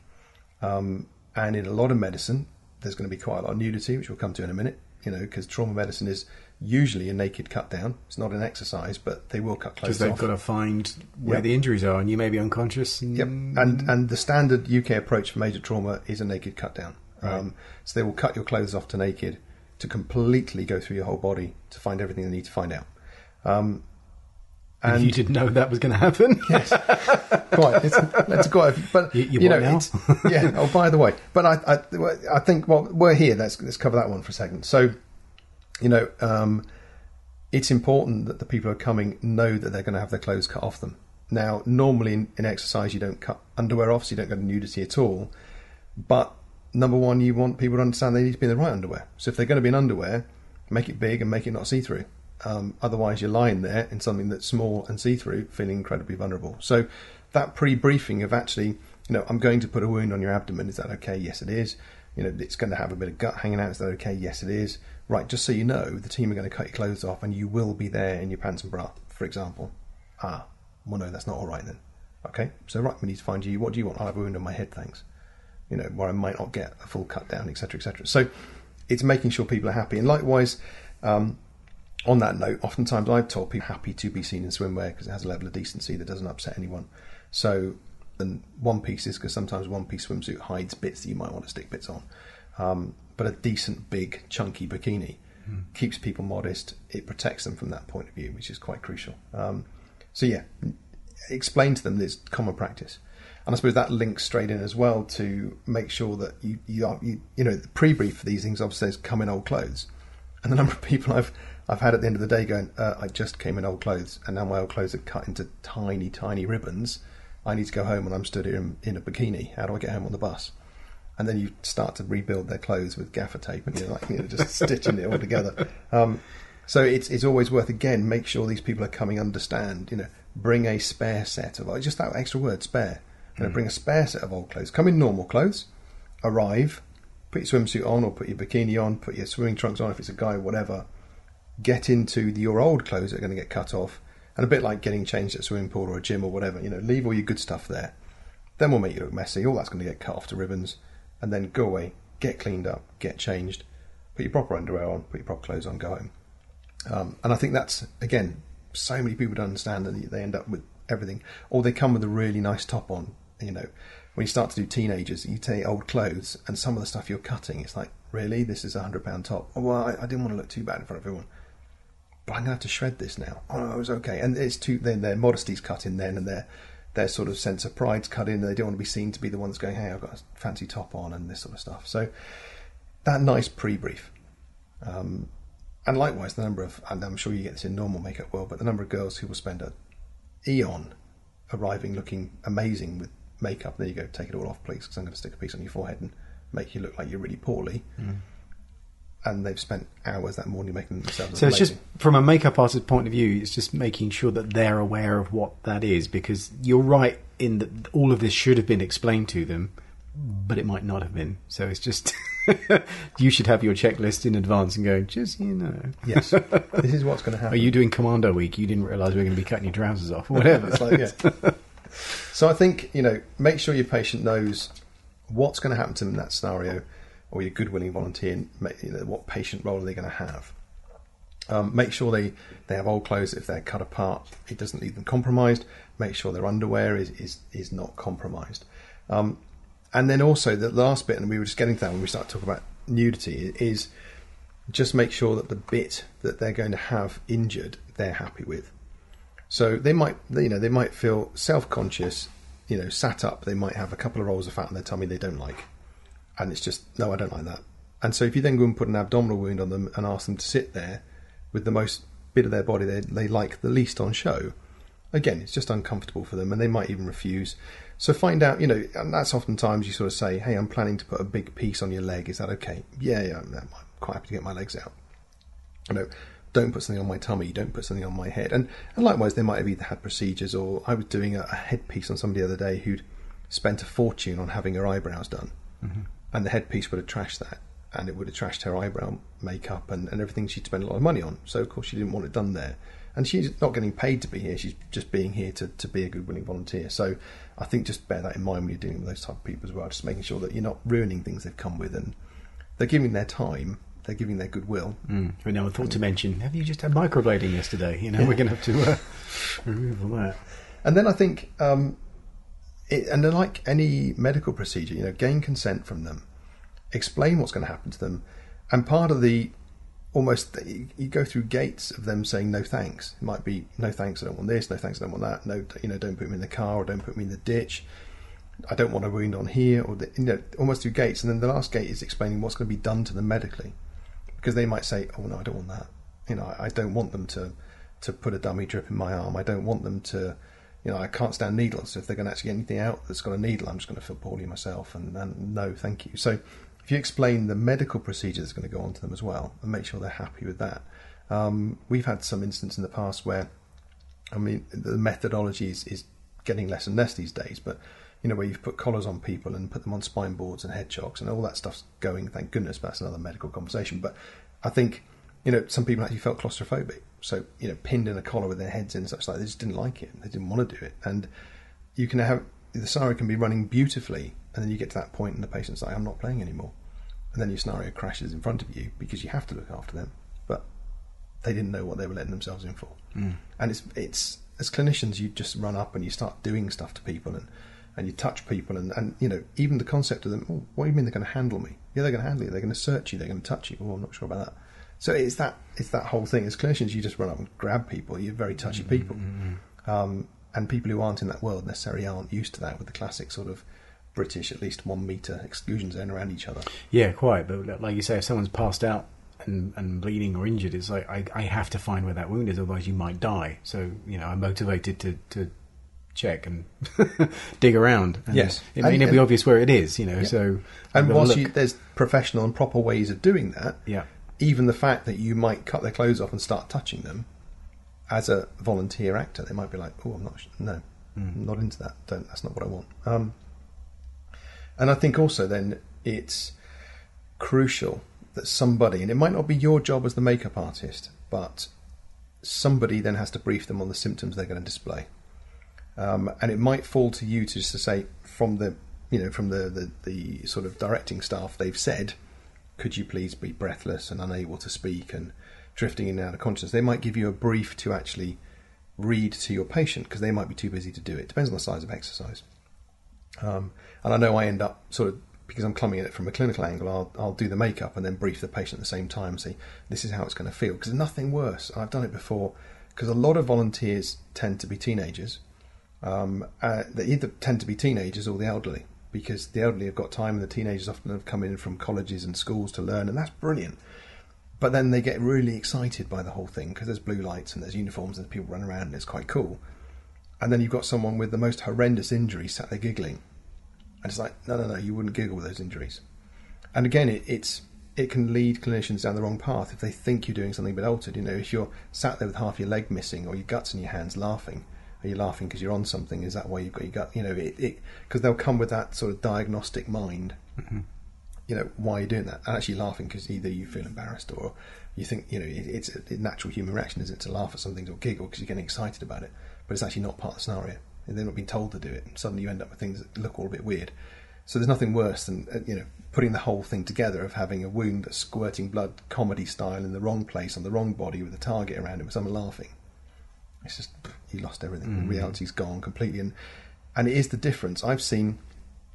I've, I've been on, on scenarios where there's been stunning actors, absolutely stunning actors who aren't necessarily professional, and I've seen them absolutely take experienced clinicians apart at the seams because they just get into their head and they you know they're there they might have a wound and they might be hysterically crying and they might be panicking and then they start to put in that overlay of you know don't let me die i've got kids and and and just things that start to get into the mind of the clinician mm-hmm. and up the ante and you know i have seen to come out and just step away from a scene because they've been either literally totally psychologically brought in by the mixture of right environment, right wound, right acting. So you have a mashed car with the patient sat next to their dead husband in the other front seat. So you have like a hyper realistic mannequin that's very obviously dead. The patient screaming entrapped next to the dead corpse of their partner, with the clinician trying to somehow gain access to this vehicle and then control the patient who's then going on about anything else but the wound, going on about the life with the husband, or you know, how can I go on? How can he? You know, all the stuff that happens in human emotion at the, at the impact of of your worlds colliding, and you, if you can just get that magic mix of right scene, right wound, right actor, even if it's not a professional actor, you can get some really good willing volunteers. Just stunning, and you can see people who've been doing it for years taken in, completely immersed and there is that sort of terminology, immersive simulation. And if you can produce something that is so close to realism, um, but you'll never achieve that with the wax proboscis, with the target around it, with five litres of blood on the ground, with someone giggling. And that's my, I love it. That's my when when you when it hums, when it all comes together, yeah. And you see, you know, a brilliant clinician, totally either immersed and lost, and when you call time, they're like, oh, oh God, yeah, we were playing wow. Or you see an awesome clinician, and not what you want to see this, but dissolved by the scenario, you know, taken apart at the seams to the point where you almost have to take them away and, and help them back. You know, bring right. back to uh, yeah, yeah. Then you've done it. You've taken some, and I suppose that's like an amazing piece of film, isn't it? If, if someone either, you know, loses himself in a film or loses himself in a piece of music. Yeah, the mechanism whatever. of it is not at or, uh, evident. It's, yeah, yeah, it's just seamless. Yeah, and that's that's that's when you get it. Mm. That's when you really hit the sweet spot. Yeah, that's cool. the day it's going well. Yeah, amazing. And then we get into the thorny subject of safe words. So I'm, I'm going to keep appropriate, and I'll let you be inappropriate. It's your podcast, but safe words. Everyone should have a safe word, um, and you should ideally have the same one. So your casualty has a safe word, and your team knows that. Your treatment team. So at any point in time, the casualty can call the safe word, and everything has to stall. Um, because you know you can be doing things around people with sharp instruments, or you can be putting them on a stretcher and pinching them, or most commonly people get either too hot or too cold. You know, you've arrived on scene and you're not necessarily thinking as a clinician. You've cut all the clothes off real time of the, the casualty, and they're lying on freezing cold tarmac, and they start to shake, and everyone's going, "That's really good acting. Look at that. Look at the way they're shaking. Look how pale they've gone. Isn't that brilliant." And you've got a pseudo hypothermic actor, you know, going ah because they've just lost it. Yeah. And then they're sort of going for real, and you know, for real is a good buzzword because it normally doesn't cut into anything else. You know, if you've got a weird pineapple plantation scenario, pineapple or Armageddon or hamster doesn't always work. So, you know, just just have your your for real, I'm cold. For real, you're pinching me. For real, it hurts. And if if the treatment team know that at any point in time anyone screams for real, be it team or patient, everything stops. And it's literally like sleeping lions. Everyone just freezes, and whoever's called it says, "For real, don't stand up. You're right above a very jaggedy point of metal that's going to stick in your head if you stand up." Or, you know, for real, I'm freezing cold. I don't want to play anymore. For real, you're really hurting me. Whatever, but you know, get that safe word and make sure that's that's done. Um, and again, on actor prep, you know, just pre-warning for some of the gents on shaving, um, because they, they turn up with hairy chests, and and even if you can put your wound in such a position that you're not giving them a free wax before they go home, you know, some of the treatment modalities will defib pads if they're applied, even if obviously the defib won't be turned on, but defib pads applied or monitoring pads applied, um, chest seals. There's lots of big sticky things in medicine, and there's nothing worse than someone going, "Oh yeah, that's fine. Of course, I get my chest out. I'm really ripped," and then you know they're like a big hairy bear, and you think, "Uh oh." And the number of times I've sent people home with big sort of bits as you're learning, big bits missing, and they've not been briefed. And and a lot of the guys won't want to shave their chest, for example. So maybe you find somebody else who isn't as hairy, or somebody who hasn't got hair on their chest at all, or whatever. Um, so you haven't got your hairiest guy because he's the only one who wanted to get his chest out because he's Right. ripped, but he's ripped and hairy, not just ripped. And take, taking it off and cleaning it up, that's not a clinical job. It's like, I saved your life. If you're alive to go home, then you take the fucking things off. Which perhaps people are, are not aware of. and yeah, and so again, as, as the as the sort of makeup-y type person on these things, they'll be coming back into you at the end of the exercise with their clothes cut to ribbons, with bits stuck on them, and they'll look at you and go, "What the? yeah. You never told me about this." And you can get a bit of antsy at the end of the day because there's people, you know, I'm supposed to be going out in three hours, and sorry, you've used a blood on me that stains, now I look like a baboon's backside for the next three weeks. And that's another thing, I suppose. You know, just make sure you're not staining people, and, and even some of the professional stuff stains like fury, um, skin and concrete, and God knows what. So, going back to, to your blood podcast, you know, I've, I've used since I listened to it um, the, the Coke trick. Yeah. Coke with a bit of, of That's Stuart. Conran put me into that one to thin it down. Yeah. and it's brilliant because it it's just not staining. Whereas some of the professional companies, even their sort of mass blood powder type stuff, Yeah. does the job. But boy, you know, stains concrete, stains human. I, the number of times I've got a mate who uh, I work with in the fire service doing scenarios, and the number of times I've sent him home with literally a baboon's backside because we do groin stabbing, and the poor sod is, is going away, and for weeks he's sort of like orange from the waist down, Oh my god, yeah. and it's just unfair. Got to do it right. Um, Rob Smith's blood. That's one I like best. Then I showed you the Rob Smith stuff. I think it's quite. It's nice and opaque. Um, yeah. The that that um, a slight sideline. I used. Uh, it was Stuart Conran that that mentioned it, it was a tip he gave to somebody else, and I've co-opted it, but I I credit him with it. And he used flat Diet Coke to thin blood for pumping. The reason being, Diet Coke isn't sticky, so it won't attract flies and wasps in summer. Um, but because it's dark, when you thin it, it doesn't make it more translucent as well. So it's it's really effective, even if it's just like store brand cola. But just make sure it's flat first, because I don't really think fizzy blood is something you want happening. I mean, it will look spectacular, but it's not what you're yeah. supposed to do. No, we, we used it. Great, great effect back in the summer on a big fire exercise, and it was flat diet coke with some Ben Nye stage blood just to colour it up a tiny bit. But we used maybe you know in a litre of coke, I don't know, 10, 15 mil of stage blood rather than a litre of stage blood, and it just gave it that that right colouring. Whereas normally what you have is people water down blood products and you get pink, don't you? And, and pink's not what comes out of people. Um, so yeah, which leads on, I suppose, to our last um, topic because we've looked at the purpose for it, we've looked at the, the type of wound and where and its location, we've looked at all that sort of actor compliance and everything you need to do to look after those actors that might fall as your role because it's not a film set. But the last bit is about it potentially, you know, yeah, having to treat it a little bit like a film set. I suppose setting the scene for realistic moulage because there's nothing worse than um, you know you create a beautiful wound on somebody. Um, let's say they've they they're in I don't know they've fallen down a set of steps and they've got a, a head injury and you create a great head injury wound and then you take them out to the scene and you sit them on the steps and they're neat, their clothes are neat, the steps are there, and they, they've got a cut head. And it's sort of, for a medical responder then, nothing screams, I've fallen down the stairs. It screams, oh, okay, someone sat on the bottom step with a cut head. Does that mean someone sliced them neatly with a knife and walked by? Have they, you know, I don't know, were they doing DIY and have cut themselves? But it doesn't make sense. And, and please bear in mind that most medical responders are trained to interpret a scene uh, because they arrive fresh. They're looking, is it yeah. safe? So they, they have scene interpretation and they go through a, a, process of something called mechanism of injury to look at the scene and try and become a bit of a detective and go, right, what's happened? So if you want someone to have fallen down a set of stairs, you need to set that scene as if it's happened. So do you, for example, put the patient at the bottom of the stairs in a crumpled heap and therefore their clothes should look like they've come down the stairs? So if it's inside, fine, they might be untucked. They might have been pulled as they've come down the stairs if they've got specs on, maybe they've lost their specs halfway down the stairs. Maybe there's one slipper halfway down the stairs. You know, if it's slippers that cause them, like an elderly patient, to fall from the top of the stairs, but one slipper at the top, one slipper halfway down, then they've got an insinuation of where they started and the journey they've come down the stairs. And if you've got a bleeding wound, then just in a couple of places, remember not to over blood, but a tiny smear here, a tiny smear there. Is there a smear on the banister? Is there this sort of stuff?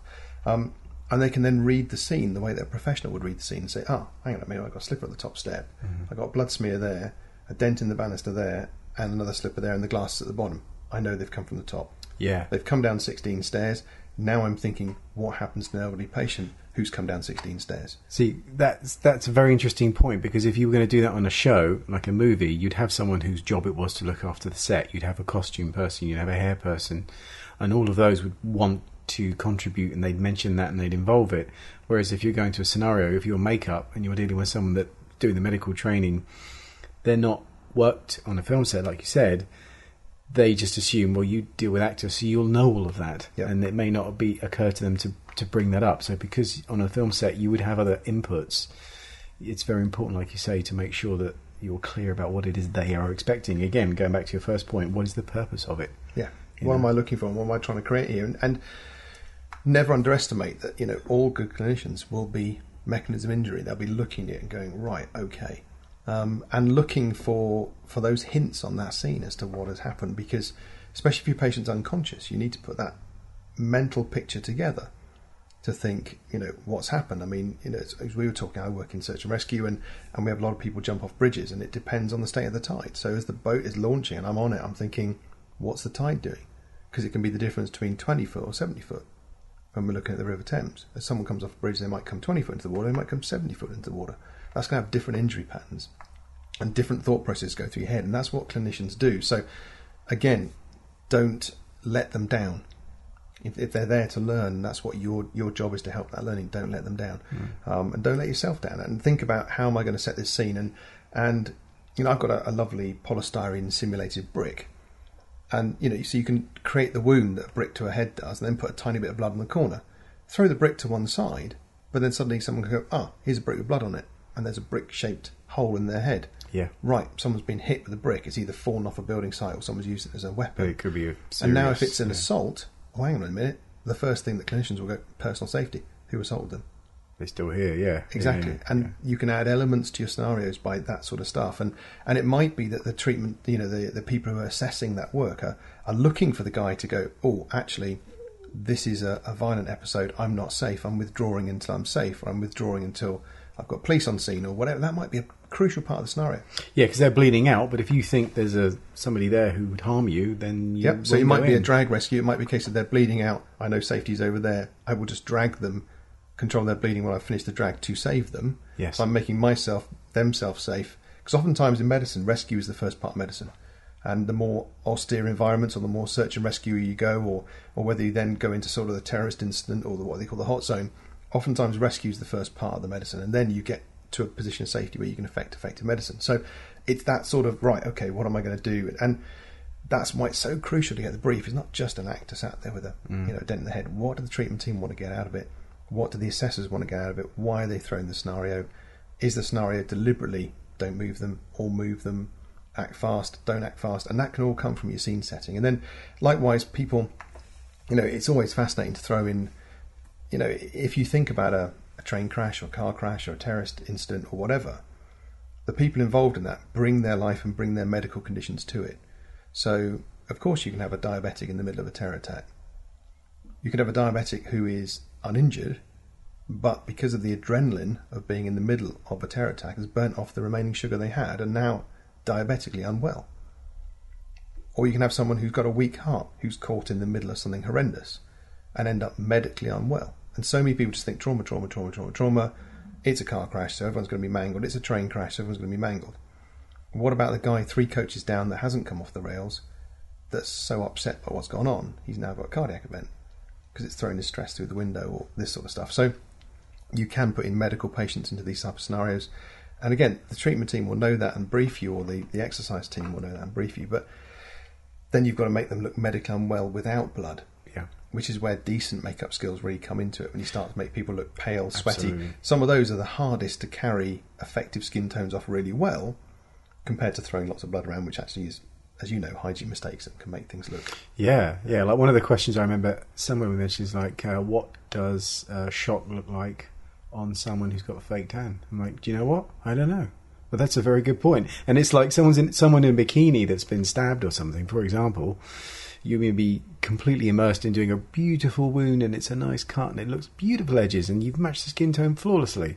But they don't look like they've been stabbed because they should be in shock and they've gone pale, they're blanched, they've got cyanosis, and all that stuff is a much bigger job Yeah. than the little wound, and, and clinically far less important because And- again, if it's if it's above the nipple, it's a completely different kettle of fish than if it's below you know nipple. yeah and i think below it's nipple. i think it's it's and where do you stop so it's, it's interesting you bring that up because most of the time even when you're looking at you know in trauma they go down to as we said to these sort of semi-naked cut downs or in acting world anyway it's down to underwear type cut downs real medicine it might be a naked cut down but even if you've got someone who is deeply cyanosed which is the far end of, of shock then you're not we don't never have the time to make someone whole body pale um, because you just a don't have the time and literally you'd want an air gun you know you're there with your little blender it's just never going to happen. So what we tend to do from a medical perspective is get the message across on the first arrival of the clinician. So I will do my patient ideally will be clothed and I will do hands and face. And I'll bring the the face cyanosis down below the neckline of, of whatever they're wearing and then subtly blend it out to normal skin So tone. very briefly, what do you mean? You just pale them up with a with a foundation? So we tend to use, um, I tend to use some of the Ben Nye colouring. So Ben Nye Cyanotic Blue tends to be pretty much the best out there for making people look. You know, when you start, you start with clown white, don't you? No one's Yeah, yeah. clown white. So Ben Nye Cyanotic Blue is really useful. Plus Ben Nye do their Death Wheel, which has a variety of, of skin tones past cyanosis and heading into really poorly, um, like really really poorly and then dead very poorly. Um, so I think it's you know, a variety of those sort of cream wheels and um, colourings can be highly useful. And then following that sort of methodology, that the pink bits go most blue. So the skin tone can be drained and not white, but heading towards a, a very, very light blue, and then emphasising, you know, if someone's got a big red nose and big red cheeks and big red ears, well, they'll go bluer. Their lips go blue. So the bits that are pinkest go bluest. So that nice sort of Ben Nye cyanotic blue brings them down, and then we tend to use sort of some of the mauves from some of the bruise wheels and do lips, cheeks, ears, under eyes. You're not creating black eyes, you're creating that sort of subtle colour change where someone looks really poorly. And another, um, yeah, this was another thing that someone said the other day. Um, someone came on one of the little workshops I run for medical moulage, and they were very used to screen effects and stage effects. So their their sort of poorly purple blending into the cyanotic blue was very definitive. It was dead straight lines, which from 50 foot looked amazing because they were used to people being on a stage and the audience being 50 foot away. Mm-hmm. But all medical work's close up. So it's a bit like your work. It's got to look almost photographically perfect because your clinician's going to be nose to nose. So you can't have those very obvious lines. You've got to blend all those tones away as best you can. But you can't pale a whole body up. So we tend to bring the cyanotic down below the neckline of the clothes they're wearing, and then so you don't end up with that awful t-shirt line like a farmer tan of cyanosis, just drifted off. Because you've created the uh, on arrival the clinician's gone look at my patient they're shocked. So they've already got that trigger. They don't need to close, cut their clothes off to see pale. Their face their hands have, have said to them yep my my patient is cyanotic they are very poorly they're either low on blood low on oxygen something is significantly centrally wrong with my patient It's just worth pointing out. I mean, um, because there was a time I I remember not knowing this. When we say shock, we just don't mean someone is surprised shock. We actually mean a physical condition where the body goes into shock. Yeah. Just make that distinction. Yeah, no, sorry. There's, it's about the worst terminology thing taught in basic first aid and medicine and such like. But the you- first of all, you can rip it into two. So the word shock, you can have medical shock, you can have boo. Oh, I'm shocked. You know, and that's not medical shock. That's a, like a surprise. Mm. So then, when you look at medical shock, you can rip it again in two. So you take the word shock, rip it in two. One is nothing medical, just a surprise. The other one is rip the word medical shock in two, and you can have psychological shock or medical shock. So, for example, if we are side by side in a car which has a very nasty accident, but I'm uninjured, but I've seen you splatted, I will be psychologically shocked, which is not boo, you know, I'm actually psychologically damaged, and you might be medically damaged, making you medically shocked. Um, psychological shock and medical shock, annoyingly, can demonstrate the same symptomology. So, you know, the patient can be pale and sweaty with a rapid pulse rate and a rapid breathing rate and feel nauseous and sick and such like. So, I think it's it, it, when you arrive on scene, you're trying to always sift: is this a patient who is psychologically shocked or medically shocked?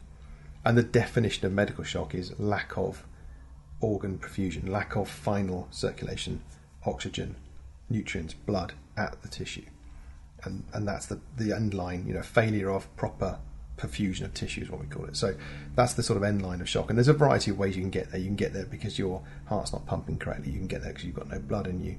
You can get there because you know your your nervous system is not altering your plumbing the way that it does correctly. And there's there's fancy medical terminology that you can look at in shock, and, and I don't want to bore anyone here with all that stuff because they're interested in makeup, not necessarily shock. But yes, so your patient who is poorly, their skin tones change, and they change through pale into bluey into dead, and dead looks very different from high end shock as well. And anyone who's seen a dead body will tell you dead bodies look dead. I'm not trying to be funny or glib, that they do. And there's you know whether you believe whatever you believe in, whatever entity you believe in, is it the soul leaving or whatever, is it just the physical shutdown of circulation? But the minute somebody dies, they look very different to even how poorly they were before. Um, and then you've got obviously the body in states of, you know, first hour post no circulation right through to decomposition at whatever dates, weeks, um, depending on where they are in, in the environment. So you've got all those skin tones as well. But I think, yeah, it's it's knowing if you can. Most clinicians will make that decision. They they they walk up and they they have a thought process as part of their mechanism of injury, and it's also a quick eyeball of the patient, if you like. It's that gut reaction of the clinician. It's like how they're breathing, what's their conscious state, and what's their colour. Because if someone sat there with a dreadful colour, struggling to breathe, semi-conscious, you've got a big problem. As opposed to someone sat there with beautiful pink skin, happy, looks at you, talks to you, is breathing normally, you, you know, your problem, your, your sort of spider senses go down a little bit. Your your your index of suspicion, as we call it, drops a bit. So that if you can get the skin tone right, you don't have to worry about the naked cut down. They'll have got it on arrival. You know, the hands and face are enough for them to have got it. Just don't leave the farmer tan line because it looks interesting. And, and as well, setting the scene, you know, think about um, clothes. If you've got a stab wound through clothes, then take the clothes and just stab them with a blade. Don't take a pair of scissors and cut an oval in it because it won't be an oval cut out, seeing the wound through it. Yeah. And clothes move. So there's nothing better than imagining someone in a fight. You know, if someone's in a fight and they're having their shirt pulled halfway up their head and then someone stabs them behind their back and pulls a knife out and then drops the shirt down, well, the stab wound in the shirt might be at belt level because at the time the knife went in, it was pulled over his head at the time. He's then pulled his shirt down and staggered away. He's got a stab between his shoulder blades, and the hole is the slit in his shirt is down by his, his um, belt. So you can't necessarily rely on clothes. And again, that it adds to the false picture if you have, you know, the jumper or the shirt with an oval cut out of it, which you can see the wound through. That's Yeah. never the case. because they're thinking in terms of I want my makeup to be seen. yeah, And it's like no, th- th- there is value in in the clinician having to find this. Yeah. because because that's real You know, life. Real yeah. life, you don't have a big sort of neon sign pointing towards the Mm. the hole, um, and things can move, and people can put extra layers on or take layers off, and they can take away. It's, again, it's a bit like being a detective. They can take away your hints and, and ticks. And most people, you know, will put on a shirt and cut it and then soak it in blood, and a simple stab wound might not bleed that much. And if there's multiple layers of clothing, then the inner layers will soak it up, and it won't necessarily be on the outer layer and you can just end up looking for a slit. And that's why in trauma tends to be the naked cut down. Big pair of scissors up through everything, get to skin level, because at skin level you can then see where are these wounds, what do they look like, what patterns are they in, how they've been created, and that's how you find all the wounds. Um, so setting your scene to make sure that you give the clinicians coming in the best mechanism injury portfolio they can and most realistic. Mm. And then the final piece is again back to that actor safety. Just make sure that this scene, what is the real impact on the actor? You know, are you balancing them, teaching them somewhere crazy over pointy railings that if it goes wrong, actually they can impale themselves on the railings and suddenly it starts to become a real scenario? Are you asking them to be in unstable wreckage that actually is unstable and shouldn't be. So again, your scene wants to be a bit like Disneyland. It wants to look horrendous but be mm. ultimately safe in the background. Mm. And sometimes, especially the people running it, if they're in you know in, in a service themselves, can be really quite keen to make this the best thing ever. And, and as as pre-hospital practitioners, you tend to do constant dynamic risk assessments anyway, so you're a little bit less risk averse than some people are.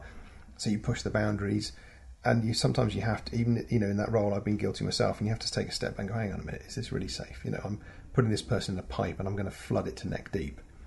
Am I really happy with that? Can it really go wrong? Oh, I'll be fine, I'm sure. And you get excited about the scenario again. You get excited Yeah. about the rescue, but you think, no, I'm actually going to flood it, and or I'm putting someone in a car and they're going to really cut them out live time. But then I've got lots of sharp edges of metal and you know glass at least, and and good extrication experts will take care of the glass and take care of the sharp metal because that's part of what they have to do for a real patient. Sure. But you are still sticking a good, willing volunteer in a position of risk. Yes. Um, and I suppose the final, really boring bit about when you do all this is you should have a whole rack of risk assessments written.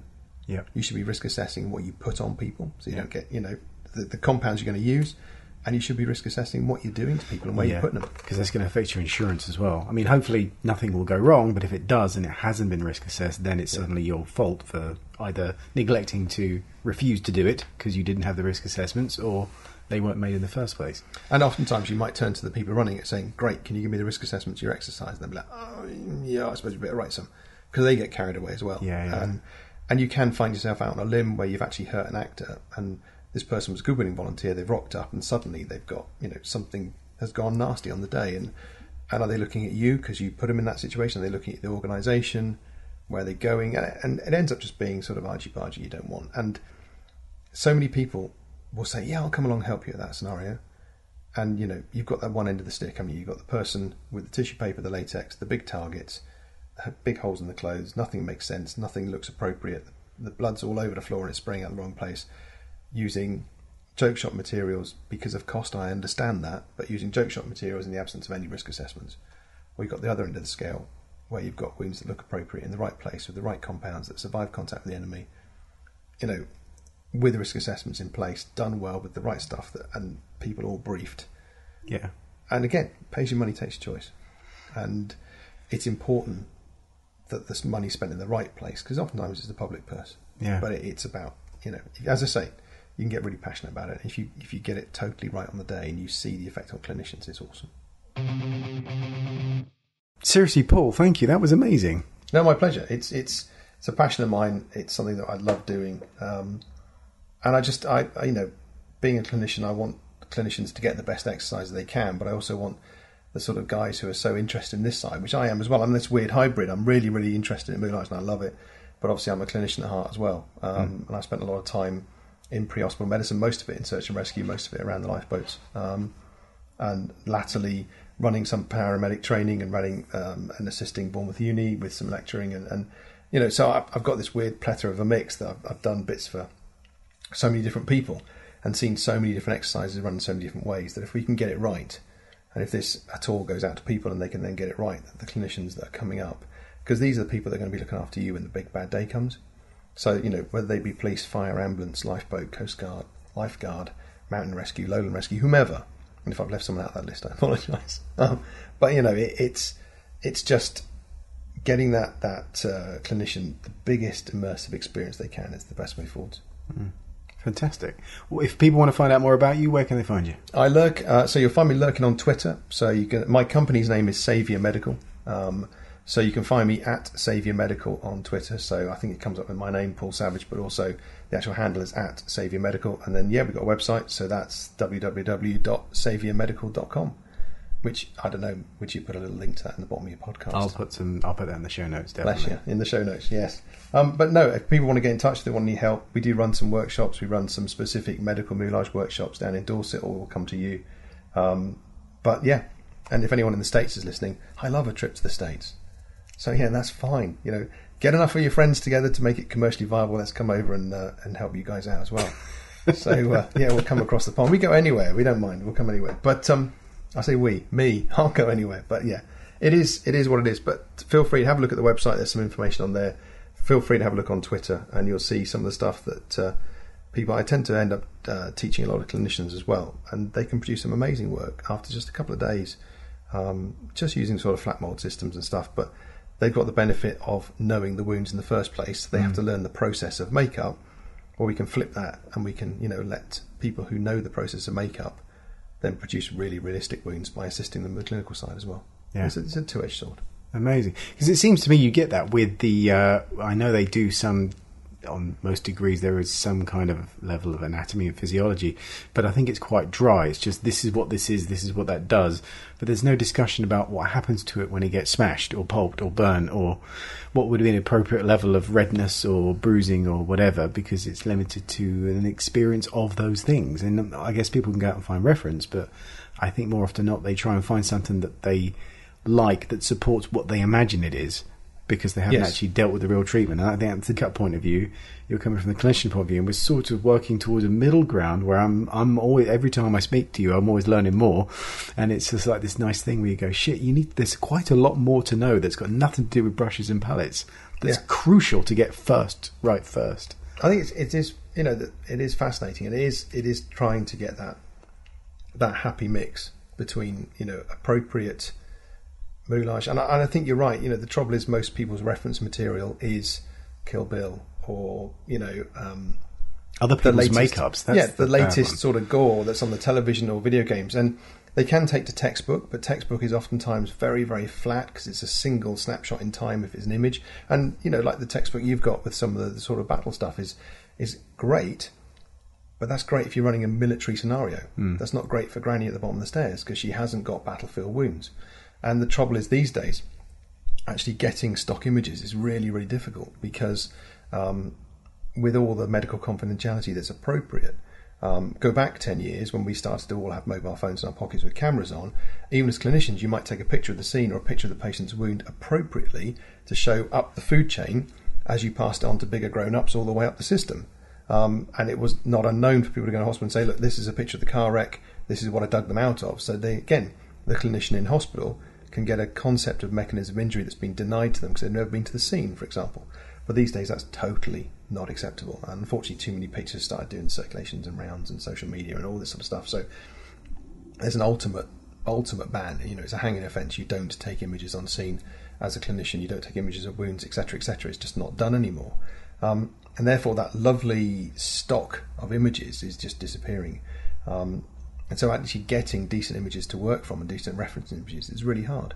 Um, so, I understand why you then pulled back to you know the TV and this sort of stuff. But even um, it's not a plug. I mean, I went around there for the first time myself with my daughter who's at med school. But we went to um, Body World or Bodyworks, the exhibition in Yeah, London. Gunther von Hagens. Yes, uh, with his yeah, plastinated bodies, and you get in there, and even if you're makeup artist, it's quite expensive. Even as a student, it's sort of twenty five quid to go round. But if you are in London, it's invaluable. And this isn't a meaningful plug for it, but it's just it's invaluable because you go in and go, ah, okay, that is the size then of the bone in my leg. Because most people, you know, might put a bone that's hanging out your leg half the actual diameter of, of the actual bone that's in there, or it might be too big.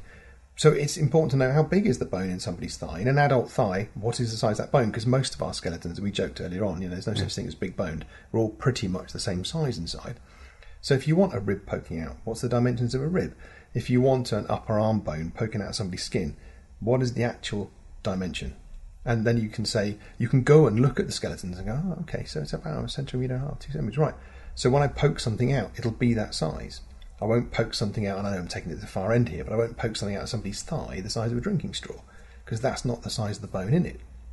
Um, and and going around there it gives you some great concepts of circulation. You can see how tiny the plumbing is, how diffuse it is, um, especially when you come to major vessels. And you can see there's a beautiful um, plastination of the arteries and vessels of the face, and you understand how and why we blush and get hot and go red and our heads glow, and why head injuries do bleed. Scalp injuries bleed profusely because of the amount of tiny blood vessels. They haven't got the big ones, but they've got so many tiny ones compared to your normal skin.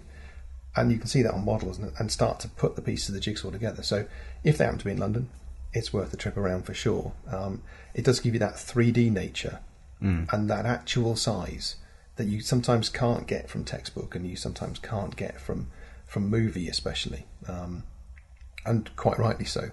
Most images of people at what's a really bad time in their life are, are restricted and not out there in public circulation, and that's appropriate, but it doesn't help people who want to learn and come up the right way.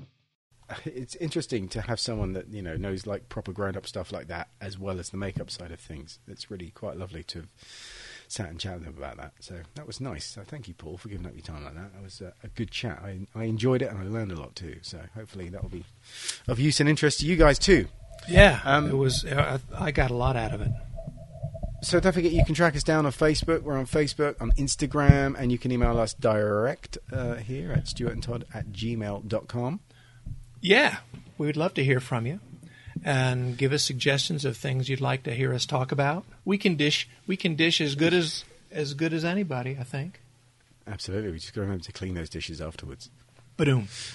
I'll probably cut that out because that was the shittest joke I've ever made in my life. um, yeah, so tomorrow back to work. Um, now the kids are back at school, so I'll be able to get back onto other things. And I'm guessing you're going to be uh, Yep. deep, waist deep in in in um, in, in your Beauty and the Beast. Beauty and the Beast stuff. Are you on the beauty stuff now or the beastie stuff now? I'm on. I'm all all beastie stuff. Uh, but I'm also doing Lumiere and uh, building some some kitchen items for the Be Our Guest number. This is going to be a pretty big production. Fantastic. I'll have to send some pictures up when you're done. Can you put some pictures? Will you be able to get photos for the? Oh, absolutely. Yeah, yeah. I, I plan on getting once we when you go into full full dress. I want to get pictures of everything because we've got. I have I've had to do toes for the beast as his feet burst out of his boots and uh, hands and it's a lot of a lot of stuff to build and it's going to look great. Amazing. Well, that's cool. Well, it's been very busy. I mean, I know we've uh, been quiet on the podcast front, but it's not. Um, excuse me. it's because I've got a cold. No, it's because th- there's been so many other things going on, um, and work-wise especially. Neither of us have slowed down, and it's like everything's been like keeping our, our tools sharp. You know, there's there's things happening, and I. One of the things I've done, which I've got to put together, is I, I shot some video. Uh, I think I may have mentioned it before. Uh, a lady called Helen McKenna, who was uh, she sculpted a head when she did a Don Lanning sculpting course. So she had this cyclops head, and uh, she wanted to mold it. So I was like, "Oh, that'd be a fun thing." So if you don't mind, maybe we we video the molding process, then we'll do it here at the workshop. She was nervous about making a mold in resin and stuff because she'd not done that before. I was like, "Oh well, well, if we do it here, then we can video it. I don't mind helping you out." And it took us probably about four days to do everything. So we molded it in two parts in epoxy, and then did a brush on silicone on the inside, and then filled it with a you know soft foam. And then she got her head out, so she's going to start painting on that. So I, I videoed the whole thing. Um, So I need to put that out. I've also videoed. Uh, we did a brush up silicone mold tutorial for the number fifteen prosthetics magazine, which at Yeah, the the brush of, up. uh, a recording we haven't uh, that hasn't come out yet, but that'll come out soon. But I did video for that, which I haven't had time to edit yet. So there's all this video stuff that I have done that we need to put out, but it hasn't been done. Yet. I haven't edited it down, but it has been done. So the quiet on the podcast front is an indication of a lack of commitment on either our parts. For like now, we don't do effects anymore. It's just been really busy doing the job and doing stuff, and not actually been able to get near a microphone. Yeah, So- yeah. So there is stuff. to Well, we'll rectify and- that. and it will. Hmm? We'll rectify that. We'll rectify that, and like I say, once this um, this website goes up, then there'll be a lot more focus on that stuff. But I have so many ideas. I'm so excited about. I've got so many things we want to sit and chat about. We need to. Get, we, I mean, we we keep doing interview stuff, but we, we we need to do some more with just you and me talking about stuff and digging deep. But every time I do a job or I go on a workshop or I talk to people, like I, I have another twenty ideas of things that would make great podcasts, but Oh yeah, just need to get them out and uh, and do them. So yeah. I So think we talked about a, talked about a few ideas just before we started recording this. Yeah, man, I'll be I'm very excited about all that. So. Cool. Yes, well, it is happening Stay still, so- tuned, everybody. We got some. We hope fun things coming down the pike for you. Nice one, Todd. Yeah, Stuart. I love it. All right, Uh, oh, and we and we got um, you know some some swag. We once the website's up, we might be able to. We got some some things people might be interested in getting their hands on. Absolutely. I still need to get. Uh, you know, you you know, you sent me one of the things. I've got it, but it's it's being held. Uh, I need to pick it up from the thing because there's an income uh, customs duty I've got to pay on it. Seriously? Seriously, there's such bastards. You paid to ship it, and before they release it, they, I've got to pay some some twenty five quid or whatever Those fuckers. income excise duty stuff. So I need to do. God. Yeah. But here's, um, here's a gift. It's going to cost you. yeah, they they pay you know they charge you one end and then charge you the other. It's it's, it's shitty. So, uh, but I'll, I'll sort that out this week and get that. But uh, yeah, no, I've I've had some t-shirts printed up. We've had some workshop aprons printed up. So it's all there in in, in its bag, nice and clean and tidy, away from the mess in my workshop. But uh, we just need this website up and running. But uh, it'll happen, and it's it's coming. So Yeah, boy. it's uh, alrighty. Well, have a good one, man. Good to speak Thanks, to you too. I'll talk to you soon. Cheers. Bye-bye. Bye.